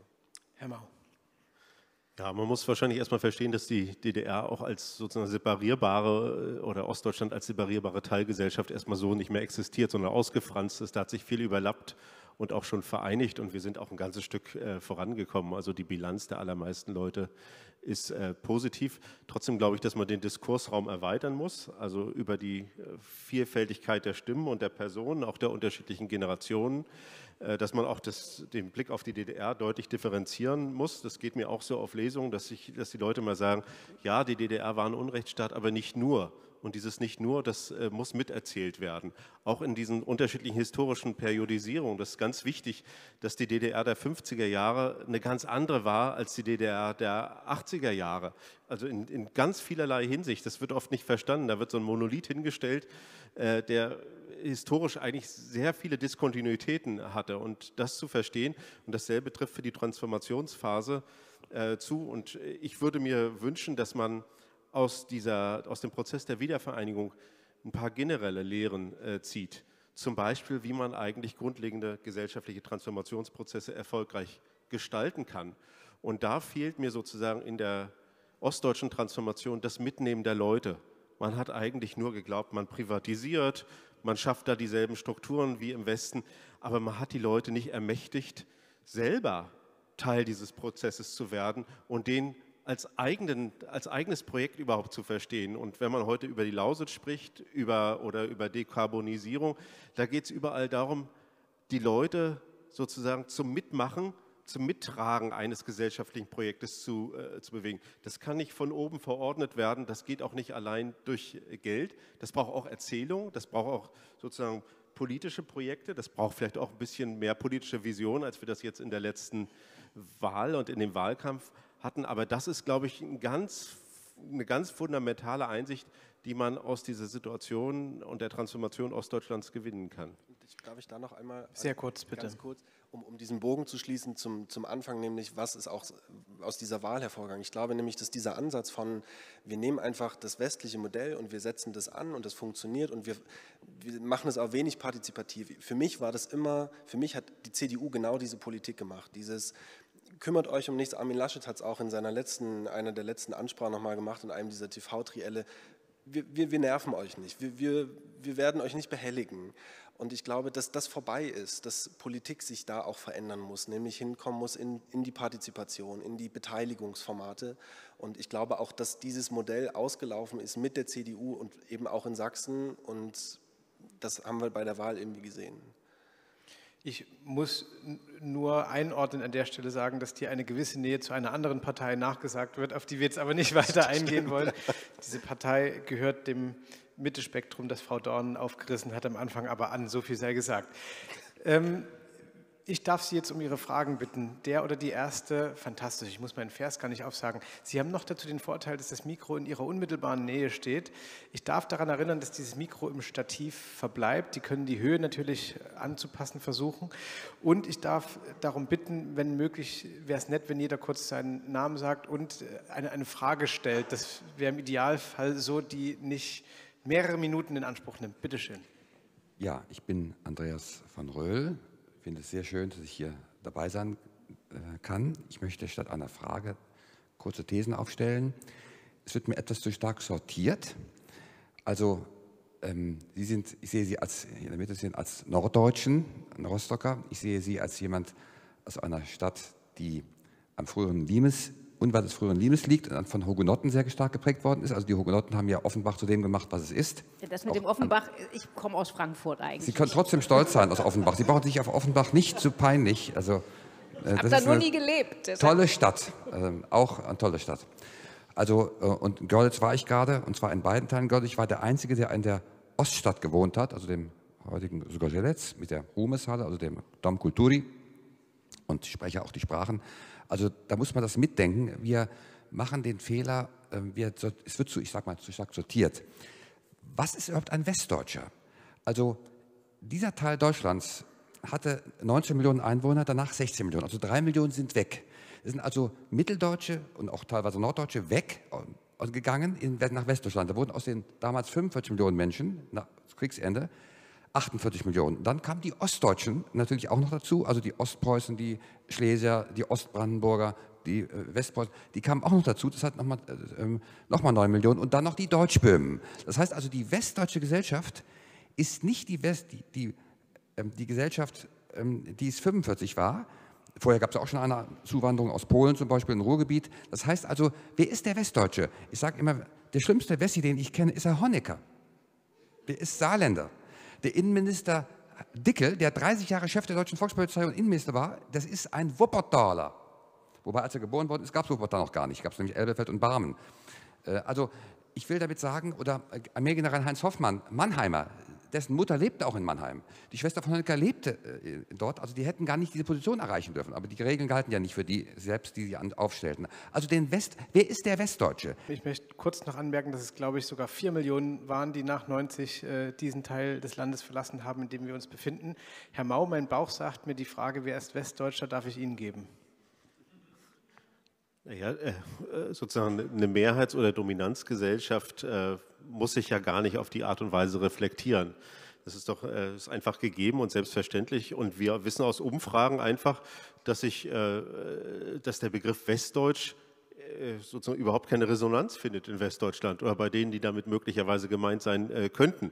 Das wird nicht reflektiert, aber der Begriff Ostdeutsch, also ob Leute sich als Ostdeutsch fühlen, der wird von sehr, sehr vielen Leuten äh, über, ich glaube, fast, fast zwei Drittel angenommen, selbst von den Leuten, die unter 30 sind und sozusagen die DDR nie miterlebt haben. Da hat sich ein eigenes Regionalbewusstsein herausgebildet und ich würde das auch nicht äh, so stark sozusagen als Trennungsmoment verstehen. Wir sprechen von Nested Identities, also es ist quasi wie eine regionale Teilidentität. Die Leute verstehen sich trotzdem als Deutsche, Europäer, möglicherweise auch Weltbürger, aber eben auch als Ostdeutsche. Und solange das jetzt sozusagen kein Gegeneinander der Identitäten äh, ist, finde ich das auch völlig unproblematisch. Das ist wie jemand, der sich irgendwie äh, als Badenser oder Rheinländer bezeichnet. Es ist einfach ein spezifischer sozialer und historischer Erfahrungsraum. Und den kann man jetzt nicht annullieren und sagen, den gibt es nicht, sondern der hat für viele Leute eine große Bedeutung in der Identifikation, in der eigenen Lebensgeschichte. Und von daher denke ich, äh, wird das auch noch eine Weile bleiben. Vielleicht verfestigt er sich. Und es wird auch eine Normalisierung geben im Sinne einer Regionalisierung. Das wird irgendwann vielleicht nichts mehr mit der DDR zu tun haben, sondern genauso bedeutsam sein, wie wenn man sagt, ich komme aus Norddeutschland, weil man da bestimmte Mentalitätsähnlichkeiten entdeckt und dann werde ich als Rostocker vielleicht sagen, ja, die Sachsen da unten, die sind irgendwie ganz anders. Und äh, die Sachsen werden sagen, ja, diese Norddeutschen, und da sprechen sie dann über Hamburger, vielleicht auch über Rostocker oder Greifswalder, das ist einfach ein anderer Menschenschlag. Bei der Zuschreibung kann man natürlich auch wieder die Frage stellen, ob man sie selber wählt oder ob sie gemacht wird. Also als äh, Milovic starb, war, glaube ich, vom, vom, rheinischen Schauspieler oder so die Rede und als Manfred Krug starb, war es der ostdeutsche Volksschauspieler. Also diese Zoom-Stufe sagt ja manchmal auch was über Distanzen gefühlt daraus. Frau Dorn, ich habe mich vorhin ganz komisch gefühlt, als ich Sie als Westdeutsche angesprochen habe. Können Sie mit dem Begriff für sich irgendwas anfangen? Naja, ich bin in Westdeutschland aufgewachsen, so gesehen. Also auf dieser unteren Ebene bin ich natürlich Westdeutsche. So, und Sie haben ja völlig recht, das, ist, das sind so verschiedene Kreise der, der Identifikation. Also wo ich auch sagen würde, ich fühle mich durchaus auch als Europäerin. Ich fühle mich aber, wenn ich eben historisch, also wenn ich meinen Blick auf Deutschland etwas weite, natürlich gesamtdeutsch auch. Also wenn ich so will, politisch bin ich westdeutsch geprägt, kulturell empfinde ich mich gesamtdeutsch mit Ausuferungen nach Europa. Ähm, so, also das, das kann man nicht mit einem Wort. Also und schwierig werden diese Identitäten ja nur noch, wenn man quasi Berufsostdeutscher oder eben Berufsfrau oder Berufsmigrant äh, oder Berufs, also das, das, wird ja dann so, so ein aktivistisches Milieu auch und dann finden Verhärtungen statt. Solange man sich erstmal klar macht, was einen geprägt hat und was da die verschiedenen, also man ist ja auch im seltensten Fall immer nur von einer Sache geprägt. Also Natürlich gibt es auch in Westdeutschland hoch, höchst unterschiedliche Biografien. Und sich erstmal klarzumachen, was einen geprägt hat und dann zu fragen, wie verhalte ich mich? Also ich glaube daran, dass Menschen die Möglichkeit haben, Biografien zu gestalten. Was will ich davon bewahren? Was will ich davon loswerden? Wie steht das im Verhältnis zu anderen? Damit kommt natürlich Bewegung rein. Also schwierig wird das, wenn solche Definitionen festgestanzt sind und das ist natürlich richtig, was Sie ansprechen, halt dieses Zuschreibungsproblem. Also wo natürlich, also Freunde von mir, die aus Dresden stammen, die sagen, naja, also wenn sie immer noch wie der Ossi, also sobald sie irgendwie in Baden-Württemberg plötzlich an einem Theater arbeiten, sind sie einfach immer noch der Ossi, der da kommt und äh, das nervt. So, also verstehe ich sofort. Umgekehrt würde die aber auch selber sagen, naja, irgendwie empfinde ich mich schon auch ostdeutsch und damit sind wir natürlich wieder bei dem Begriff des identitätspolitischen Schlamassels, dass was, was einem selber, was man durchaus als Teil der eigenen Identität begreift, aber als Beleidigung oder Diskriminierung oder Nerverei empfunden wird, wenn der andere dir das zuschreibt. Das ist ein Spiel mit Macht, dann, äh, wann ja. es okay ist und wann nicht. Lukas Rietschel, äh, ich möchte auf den zweiten Teil noch kurz eingehen. Ich weiß nicht, ob ich die Vokabeln noch eins zu eins korrekt habe, aber ich meine, armreich Geschwätz gehört zu haben und äh, äh, die, die vermögenden Menschen, die ja auch investive Kräfte sind äh, und in gewisser Weise wohltuend. Ähm, lass ja. mal so stehen. Ja, das ist, glaube ich, so eine FDP-Argumentation. Das, äh, das, das sprengt meinen, meinen politischen Horizont. Jetzt können Sie die FDP auch abhaken bei der Frage, wo er hingehört. Die ist es auch nicht. Okay. Ich bin Wechselwilder, hat der Fragensteller noch angemerkt. Ähm, das, das, das, sprengt jetzt meine, also das ist mein, mein Kompetenzbereich, der reicht auf dieser Bühne irgendwie von, von Ost nach West und alles zu arm und reich, da bin ich überfragt wenn Herr Mau nicht das dringende Bedürfnis hat auf ja, die. Ich bin da äh, in der Versuchung, hier eine Vorlesung zu halten. genau das ja das mein Forschungsthema ist. Ja. Deswegen halte ich mich äh, da zurück. Ist, aber de facto ist es nicht so, dass je reicher man ist, desto höher ist sozusagen der Investitionsanteil. Es ist äh, eher so, dass man äh, äh dann stärker in spekulative Werte investiert, also gar nicht unbedingt in die äh, Produktion oder in Industriebetriebe. Äh, aber das ist eine lange Diskussion und ich glaube, die Oligarchisierung einiger auch westlicher Länder, der USA ganz voran, ist nicht ganz unproblematisch. Das lassen wir jetzt wirklich so stehen. Ich darf Sie bitten, äh, den und die nächsten Fragen stellen. Machen Sie sich gerne auf den Weg zum Mikrofon. Hat es Sinn, wir haben vorhin gemerkt, dass die Kanzlerin irgendwie jetzt ein bisschen umschwenkt, haben Sie gesagt, bemerkt. Äh, hat es Sinn, wenn ein Bürger sich an die Kanzlerin wendet und irgendwie darstellt oder eine Frage stellt, ob das Sinn hat?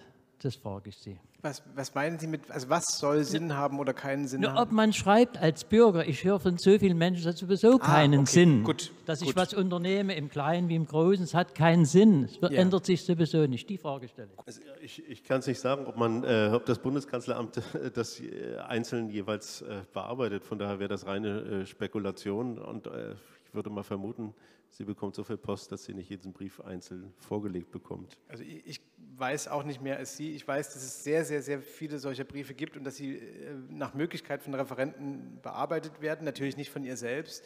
Ich weiß von Barack Obama, dass ihm immer in der Amtszeit, glaube ich, jeden Tag so äh, drei Briefe aus, aus dem Volk irgendwie so vorgelegt worden, um so kleine Duftnoten irgendwie nach oben durchzustellen. Aber also eine, eine, eine flächendeckende Bearbeitung kann ich mir nicht vorstellen. Ja, die Frage ist immer, was damit beabsichtigt ist. Ja, also ja. wenn, wenn Sie vielleicht haben Sie diese Erfahrung gemacht, einen, einen, Brief geschrieben haben und der wahrscheinlich nicht beantwortet wurde.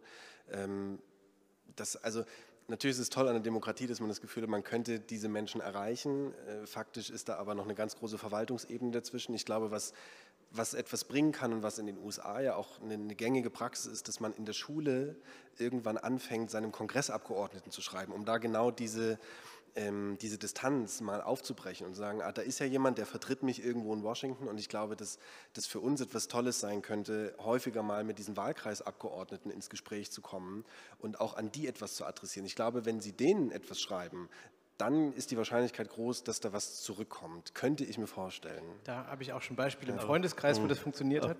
Aber ich, äh, ich nenne das nur sozusagen als, äh, als Hinweis. Es ist auch eine sehr interessante Forschungsquelle. Es gibt jetzt einige Leute, die mit den sozusagen diesen, dieser Form der Eingaben, die in der DDR üblich waren, die damit jetzt Forschungsprojekte äh, starten, weil das ein unglaublich interessantes Spiegelbild der Gesellschaft gibt und die wurden häufig dezentral gehalten. Wenn man die alle gesammelt hätte, da hätte man wahrscheinlich schon Anfang der 80er Jahre festgestellt, dass äh, das ganze Ding irgendwie gegen die Wand fährt und dass die Leute eigentlich nicht mehr bereit sind, äh, sozusagen das auch alles zu dulden und mitzutragen. Äh, vielleicht, äh, wenn man solche Briefe schreibt, sind die später auch mal sehr interessantes, ein sehr interessantes Zeitdokument. Ich glaube, archiviert werden sie, glaube ich, auf jeden Fall. Ich darf hier nach drüben schauen. Ich hatte im Augenwinkel einen Arm, einen Meldearm gesehen, sehr gerne. Ja, also mein Name ist Martina Metzger, ich komme aus Bayern und bei uns war Corona ziemlich, äh, ein ziemlicher Einschnitt auch sowohl auf das im Hinblick auf das Infektionsgeschehen als auch im Hinblick auf die Maßnahmen, die äh, stattgefunden haben. Deswegen äh, vermute ich schon, dass ich in ein paar Jahren sagen werde, das ist eine Zäsur äh, gewesen. Ähm, äh, hab jetzt an Sie die Frage auf dem Publikum, ähm, auf dem Podium. Ähm, wenn man bedenkt, dass Erinnerung ja immer auch geprägt wird durch die Realität, in der man selber lebt, zu dem Zeitpunkt, wo man sich erinnert. Sind Sie der Meinung, dass unser Blick auf die Wende oder wie auch immer man es nennen mag, die Wiedervereinigung, durch das, was wir im Moment erleben, durch Corona, das uns ja alle betroffen hat, diese Maßnahmen, und auch, dass das Versprechen auf Garantie der Grundrechte eben doch nicht immer einzuhalten ist, ähm, dass das äh, in der Erinnerung etwas ändern wird. Ich bin nicht hier, um Fragen zu kommentieren, aber in dem Fall mache ich es, finde ich hochinteressant. Ich habe, äh, danke Ihnen erstmal sehr, ich habe keine Antwort, aber das Gute ist, ich bin ja auch nur zum Moderieren hier. Ähm, deswegen gucke ich jetzt nach links. Frau Dorn. Also das ist in der Tat eine sehr, sehr kluge Frage ähm, und schwierig zu beantworten. Also ich kann deshalb eigentlich erstmal nur persönlich antworten, wie es mir geht. Mir ist der Schreck, wie schnell Grundrechte abschaffbar oder außer Kraft setzbar, muss man ja sagen, gewesen sind, gehörig in die Knochen gefahren. Ähm, und ich habe auch, glaube ich, zum ersten Mal richtig verstanden, wie es passieren kann, dass eine gesamte Bevölkerung Dinge mitmacht und nicht mehr hinterfragt, also ihre, ihr kritisches Bewusstsein auch an der Garderobe lässt. Also ich will überhaupt nicht in Abrede stellen, also vor allem vor eineinhalb Jahren in einer Situation der höchsten Unsicherheit, dass man da erst mal sagt, wir gehen auf maximale Sicherheit und wenn denn es irgendeine Hoffnung gibt, dass diese und jene Maßnahme irgendwas bringt, tragen wir das mit. Aber also ein ganz konkretes Beispiel, wenn jetzt irgendwelche Plexiglasscheiben, die irgendwie auf Tische gestellt werden, wo ich glaube, also wirklich noch nicht mal Karl Lauterbach oder Herr Drosten äh, würden aus einer wissenschaftlichen Sicht sagen, dass das eine sinnvolle Pandemiebekämpfungsmaßnahme im Herbst oder Spätsommer, na Herbst haben wir mittlerweile im Herbst 2021 ist irgendwo oder wenn in Taxis so, so eine Plexi, also da, mit so zwei Gurten irgendwie oben fest, das ist nicht rational. Und an solchen Dingen aber irgendwie eisern festzuhalten, und Leute, die mich, äh, also wenn das Ganze jetzt genug im Netz steht, bin ich mir auch sicher, es kann schon wieder irgendjemand auftauchen, der sagt, naja, die Dorn kritisiert schon wieder Corona-Maßnahmen, hm, Corona-Leugnerin, äh, dass das in solcher Blitzgeschwindigkeit geht, dass dann auch so eine, so eine Emotionalisierung eines Diskurses, wo man den Eindruck hat, die normalste Frage der Welt, nämlich zum Beispiel so eine Frage jetzt zu stellen. Also ist es nicht zum Beispiel Zeit, diesen ganzen Plexiglas-Kram mal wieder abzuräumen, weil der wirklich sinnlos ist, diese Plexiglasmäuerchen, die wir da jetzt äh, in einem Jahr errichtet haben. Dass das schon als problematisch erachtet wird, ganz ehrlich, also eben in dem Fall ich Westdeutsche, also wenn mir das jemand noch vor zwei Jahren gesagt hätte, dass ich mal auf einem Podium sitzen werde und darüber nachdenken werde, ob ich mich jetzt trauen kann, eine offensichtlich sinnlose Maßnahme als solche zu benennen, hätte ich gesagt, das ist völliger Quatsch. Sowas kann nicht passieren. Und deshalb dieser enorme Konformitätsdruck, der auf einmal erzeugt wird in der vorherrschenden öffentlichen Meinung, das ist gewissermaßen ein Schock gewesen. Und so gesehen, um auf Ihre Frage jetzt nochmal präziser zu kommen, das macht natürlich rückwirkend was mit, wie man auf Geschichte guckt. Also zumal eben äh, mit meiner, Ost, äh, mit meiner Westbiografie. So weit ist es schon. So weit ist es gekommen, dass ich schon freudianisch, ja, ähm, dass ich sage, naja, so dieses in Bausch und Bogen, also was ja äh, auch ein westdeutsches Narrativ war, dass in Bausch und Bogen sagen, diese schlimmen Großeltern, die alle den Nazis hinterhergerannt sind, wir, keinen Tag hätten wir das gemacht. Natürlich wären wir ab Tag eins im Widerstand gewesen. Alles Unfug. Ähm, also solche Fragen gingen mir in den letzten eineinhalb Jahren doch erheblich durch den Kopf und das macht natürlich auch in der Tat was damit, wie man auf historische Ereignisse guckt. Also das, wie ich ja heute Abend schon mehrfach sagte, das hohe Westross ist für mich endgültig zusammengebrochen in den letzten eineinhalb Jahren. Ja, ich habe zu der ganzen Problematik auch keine abgeschlossene und feste und endgültige äh, Meinung. Was ich mir gewünscht hätte, ist ein offenerer politischer Prozess, auch um sozusagen eine Demokratisierung äh, dieser Fragen. Das hieße eine stärkere Beteiligung des Parlaments äh, zum Beispiel. Ich glaube auch, dass in dem Prozess unglaublich viele handwerkliche Fehler begangen worden sind. Also wenn man wochenlang sagt, eine Maske nützt nichts und hinterher gibt es Maskenpflicht, äh, wenn man sagt, es gibt keine Impfpflicht und dann führt man sie indirekt doch ein, dann finde ich, ist das nicht nur ein politisches Kommunikationsproblem, sondern es führt natürlich auch zu Formen von Reaktanz in der Bevölkerung, äh, die nicht ganz äh, unproblematisch ist. Ähm, die Einschränkung der Grundrechte, natürlich gibt es Bedingungen, unter denen man auch Grundrechte einschränken äh, kann. Das ist äh, auch kein historisches Novum, in der Bundesrepublik schon, aber auch in anderen westlichen Gesellschaften ist das zu Zeiten immer mal wieder äh, passiert und ein gesundheitlicher Notstand kann so ein äh, Grund sein. Aber es ist eben sehr stark begründungspflichtig. Man muss das auch entsprechend kommunizieren. Und da würde ich schon eine Adresse an die Politik richten, zu sagen, das hat in vieler Weise nicht so geklappt, wie man sich das eigentlich vorstellen könnte. Zum Beispiel auch die Bedingung des Wiederaustritts aus so einem äh, Moratorium sind ja bis heute ungeklärt. Und da finde ich, fehlt einfach äh, eine öffentliche Debatte darüber. Die Frage, um das ganz kurz noch anzufügen, mit Blick auf die Uhr war ja aber, ob diese Situation, die Sie jetzt nochmal schildern, ob sie auch quasi Auswirkungen in die Vergangenheit, wie wir auf sie blicken, hat. Äh, was ist da Ihre Tendenz? Ich würde sagen, das sind eigentlich getrennte Ereignisse. Ich ja. sehe auch, dass die eher Ost und West zusammengebracht haben, weil das ein gemeinsames auch Risikoerleben war kann auch sozusagen vereinigend sein, wenn man äh, dem gleichen Risiko ausgesetzt ist. Äh, sonst glaube ich nicht, dass das äh, jetzt äh, fundamental nochmal die DDR irgendwie auf eine andere Art und Weise ja. Äh, aktualisiert. Es gibt vielleicht eine Fußnote, das ist auch eine Bemerkung von, äh, ich glaube, Angela Merkel mal gewesen oder dass es noch nie so eine große Krise in der Geschichte der Bundesrepublik gegeben hätte. Da haben die Ostdeutschen sich natürlich gewundert. 75 Prozent Industriearbeitsplätze innerhalb von zweieinhalb Jahren verloren. Ist ein bisschen eine andere Situation äh, äh, als jetzt die Corona-Krise. Ich, glaube, sie war sogar noch verhältnismäßig präzise. Ich glaube, bei anderen ging das mehr durcheinander, dass da die Wiedervereinigung völlig ausgeblendet worden ist.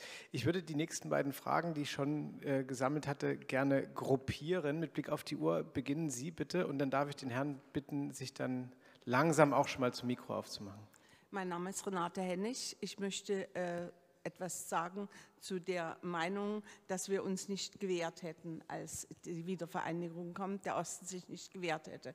Volker Braun hat in seinem Buch Die hellen Haufen gerade dieses Thema aufgegriffen am Beispiel der Kali-Kumpel. Viele von Ihnen werden das Buch sicher kennen. Und es gibt ich habe mich mit dieser Frage auch immer wieder beschäftigt. Warum konnte es so kommen, wie es gekommen ist? Ich bin aufgewachsen, in der, ich habe in die gesamte DDR-Zeit gelebt. Und als die DDR vorbei war, mussten wir feststellen, wir haben wie in einer Kiste gelebt. Uns fehlte die Weltläufigkeit, mit der Weltläufigkeit fehlten uns die Sprachkenntnisse. Wir waren klein dadurch, weil wir diese Strahlkraft nicht hatten. Und wir waren einfach dem nicht, ich habe es immer so gefühlt, dem nicht gewachsen, dieser Kraft, dieser Überheblichkeit und dem, wie eben jede, im Grunde genommen jeder Versuch auch niedergeschlagen wurde. Durch die Kraft des Wortes, durch die Kraft des Geldes. Jeder Betrieb konnte aufgekauft werden. Und äh, dass es so gekommen ist, war nicht eine Sache, dass man sich nicht, dass kein zur Wehr setzen da war. Wir konnten es vielleicht einfach auch gar nicht. Wenn Sie erlauben, würde ich das gerne so stehen lassen und jetzt hier nicht nochmal kommentieren oder, oder eine Gegenposition aufmachen lassen, weil ich glaube, dass das als Ihre Perspektive hier äh, jetzt sehr deutlich geworden ist und so stehen bleiben sollte. Bitte schön. Hanno Schmidt, Dresden. Ich wollte eigentlich zu was anderem was sagen die Pandemie-Diskussion über Freiheit und Recht ist mir, weiß ich, ob das als älterer DDR-Bürger eher verständlich ist als bei Jüngeren, ist mir unbegreifbar. Denn wer Diktatur und Unfreiheit erlebt hat, der kann sich bei Pandemie eigentlich nicht aufregen, dass einem Rechte genommen werden. Jeder hat zum Beispiel das Recht, Auto zu fahren, nee, die Möglichkeit, Auto zu fahren, aber nicht jeder hat das Recht nur wer den Führerschein hat. Da hat sich bisher noch niemand aufgeregt, dass da Rechte genommen werden oder Freiheit, wenn man nicht fahren darf. Das ist mir also unbegreiflich, dass gerade bei der Impferei und der Pandemie da Diskussionen entstehen. Das andere, was ich eigentlich sagen wollte zu Frau Dorn, Ost-West-Gespräche ist vielleicht auch eine Frage eines älteren DDR-Bürgers. Wenn wir mal aus dem Westen Besuch hatten, dann haben wir all die komischen Dinge erzählt, die uns passiert sind in der letzten Zeit, in politischen Dingen, in Wirtschaftsdingen und Ähnlichem. Das normale Leben kam nicht vor. Zähne putzen, schlafen, Kaffee trinken, arbeiten, trauern, lieben. Das war das eine. Das andere, dass ich mich immer gefreut habe, wenn wir entdeckt haben, dass wir im Osten und im Westen Leute hatten mit gleichem Engagement und dass es auf beiden Seiten nette Leute gab und auf beiden Seiten Bekloppte und das nicht bloß an der Grenze festzumachen war. Aber was mich maßlos gestört hat, dass die besten Freunde aus dem Westen sagten, wir in Deutschland. Sie waren über eine Grenze gefahren, da waren Sie in einem, ja was, nur in einem anderen Staat oder waren Sie noch in Deutschland? Wenn Sie über die Grenze nach Frankreich gefahren sind oder nach Italien, war das logisch, dass Sie sagten, wir in Deutschland. Aber hier in der DDR zu sagen, wir in Deutschland, das war eine Abgrenzung, die mir wehgetan hat. Vielen Dank. Ich würde auch an der Stelle das äh, so stehen lassen. Das bedarf, glaube ich, keiner Kommentierung. Ich möchte nur kurz anfügen, das ist das, was Sie schildern mit dem Zähneputzen, Trauern, Lieben. Das, mir ging das so, als ich dann irgendwann diese, diese Jahrzehnte-Shows mit Oliver Geissen gesehen habe im Fernsehen, wo wirklich ausschließlich BRD Deutschland vorkam. So, da, haben sie einen Zauberwürfel auf den Tisch gelegt und dann äh, sich alle, alle erinnert. Ich glaube, diese Fremdheit, mit der sind sie nicht allein, wenn es um solche Fehlstellen geht. Ich hatte auf der von mir aus gesehen linken Seite einen Herrn gesehen, der sich gemeldet hatte.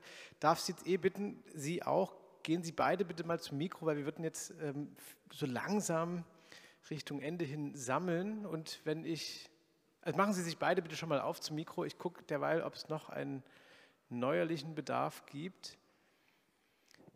Wenn nicht, würde ich in dem Wissen, dass Sie schon dran waren, mit der Bitte um besondere Kürze auch Ihnen gerne noch die Möglichkeit geben, sich nochmal einzubringen. Wir sammeln Ihre drei Wortmeldungen, Ihre Fragen. Die Reihenfolge dürfen Sie selber festlegen. Sie hatten sich zuerst gemeldet. Beginnen Sie gerne, wenn niemand sonst Ansprüche hat. Ja. Frau Dorn, Ihre Äußerung zum Kern der DDR, Ihrer sozialistischen Utopie hat mich schon beeindruckt. Hört man nicht alle Tage.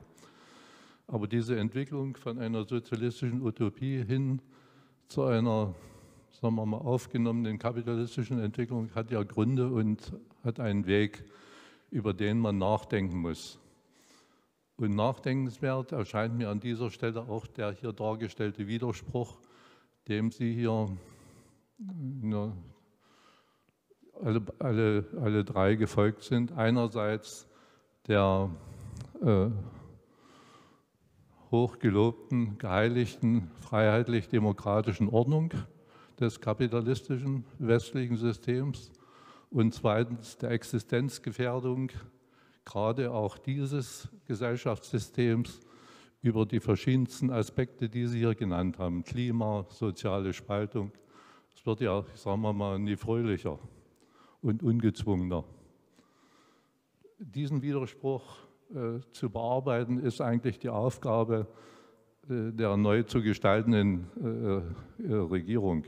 Wie würden Sie persönlich, die Sie hier zu dritt sitzen, diesen Widerspruch zwischen einigermaßen hochgelobt oder einerseits hochgelobten freiheitlichen System, dem sich alle oder viele verpflichtet fühlen, und der nun sichtbaren, für alle auch sichtbaren Existenzgefährdung unserer Gesellschaft in vieler Hinsicht stellen.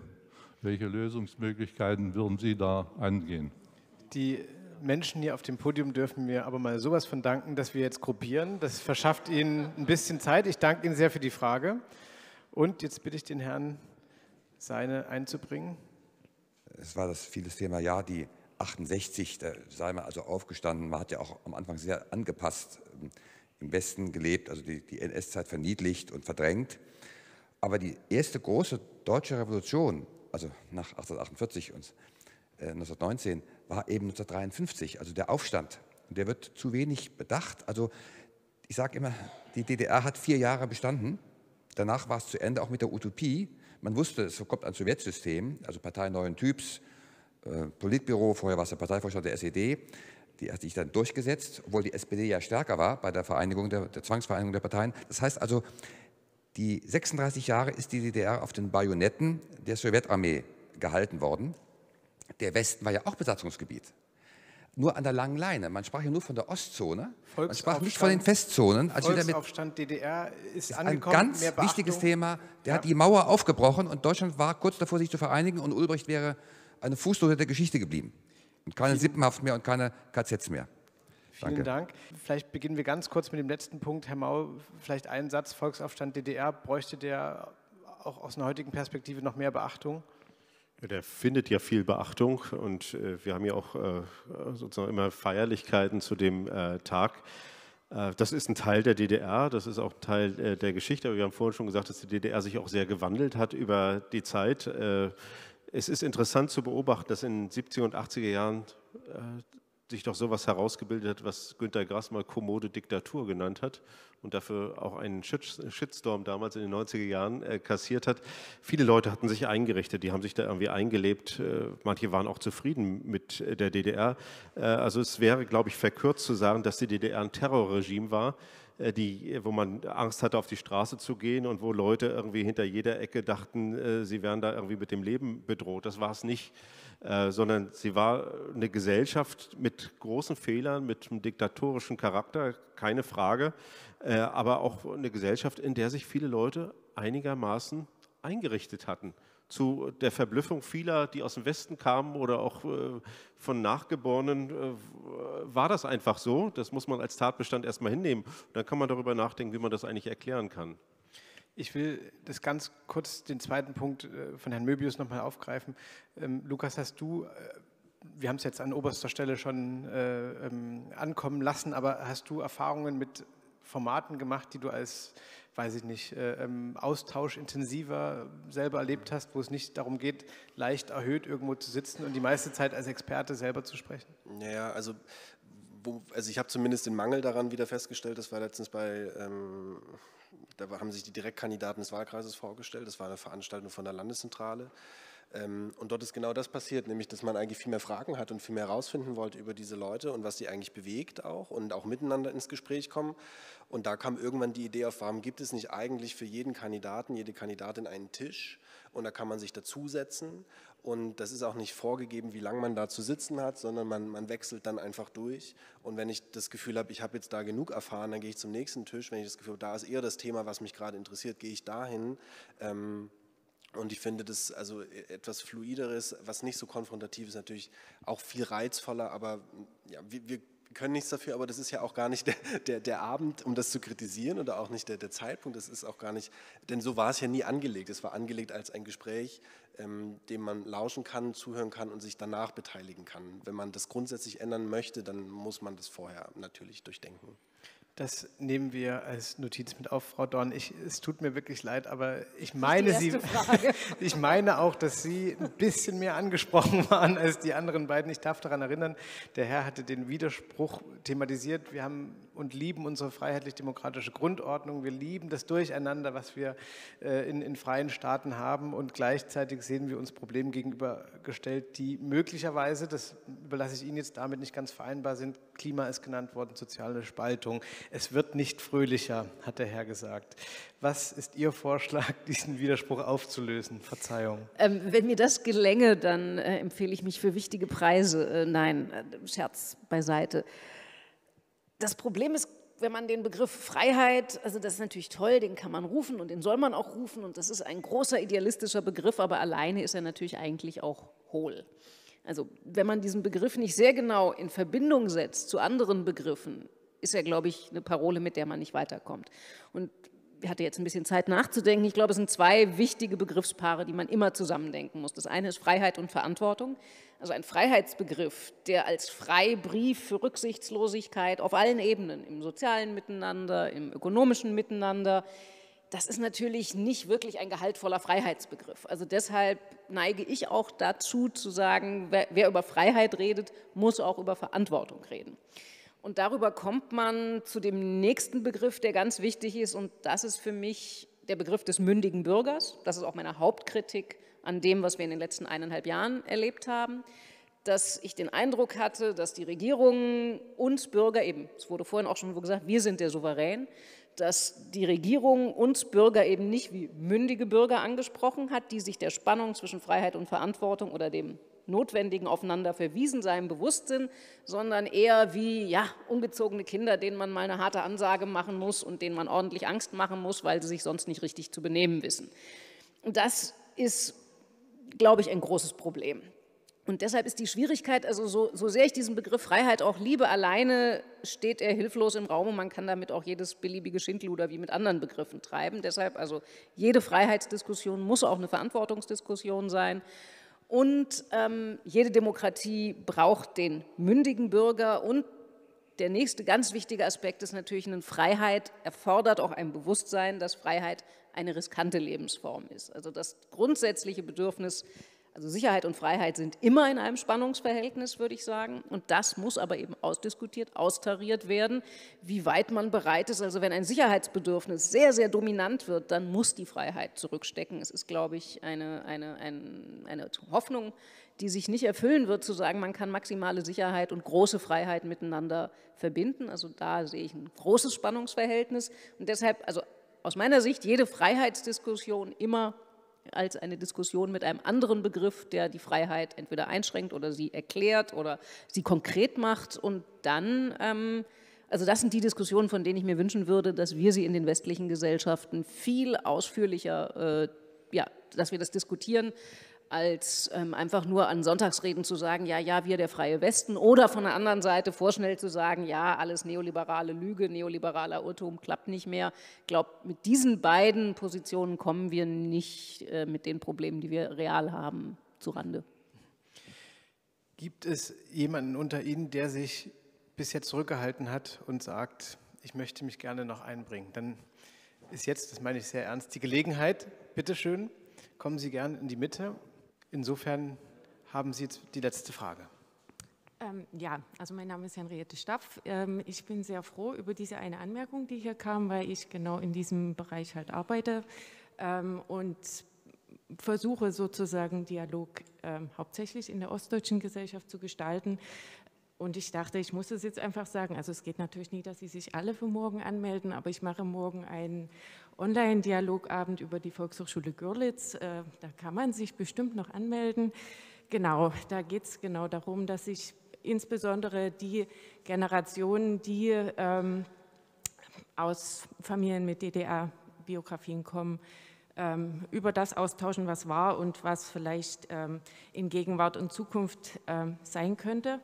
Genau. Und aber eigentlich meine Frage, die ich habe, was mir fehlt, ist irgendwie der Blick der jüngeren Generation West.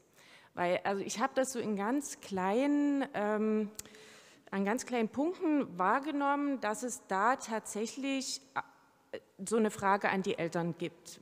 Was habt ihr in den letzten 30 Jahren gemacht und wieso habt ihr das gemacht? So. Und dazu würde ich gerne mehr wissen. Ähm, da aber bisher noch keinen Einblick erhalten. Genau. Und deshalb vielleicht an Sie, Herr Riethe, oder an Sie, Frau Dorn, oder ja auch an Sie, Herr Mau. Genau. Vielen Dank, Henriette Stapf. Ich würde das Lukas Rietschel äh, überlassen, diesen letzten Punkt. Ähm, vorstellbar oder aus teilweise genannten Gründen eher weniger? Doch, doch, total. Also ich habe äh, hab oft das Bedürfnis, ich habe so den Wunsch danach, ich, ich, warte so ein bisschen auf den großen Wenderoman, aber aus westdeutscher Perspektive. Also was, was ist da eigentlich, wie, wie wird die Sicht darauf, was ist da passiert? Und das gibt es natürlich, wenn man so ein bisschen West-Berlin anschaut, ja. Ähm, ich, ich versuche das manchmal mit Freunden, gerade in Kassel, wo ich ja studiert habe, und frage die, was wisst ihr eigentlich, was eure Eltern gemacht haben? Und dann sagen, nee, haben, haben wir nie gefragt. Ähm, und das, das, scheinbar ist dieses Bedürfnis auch gar nicht da. Aber natürlich ist da eine andere, schwieriges Wort, aber eine andere Betroffenheit zu diesem Thema. Ähm, und vielleicht auch dadurch ein anderes Bedürfnis, das anzusprechen. Aber ich wünschte es mir, weil ich glaube, dass wir dadurch auch erst, ich hatte es vorhin angesprochen, miteinander sprechen können und dann da anknüpfen können an diese gemeinsamen Erfahrungsräume und Erinnerungsräume. Und da gehört diese westdeutsche Sicht natürlich auch mit dazu. Anders ist es gar nicht zu denken. Ich darf zum Schluss dieser Veranstaltung zwei Sachen noch tun. Das eine ist mich bedanken. Ich möchte mich bei Ihnen bedanken. Ich möchte mich beim Militärhistorischen Museum sehr bedanken. Ich möchte mich bedanken bei Thea Dorn, bei Steffen Mau und Lukas Rietschel, dass Sie hier mit uns gesprochen haben. Wenn Sie mögen, für die drei vielleicht einen kurzen Applaus.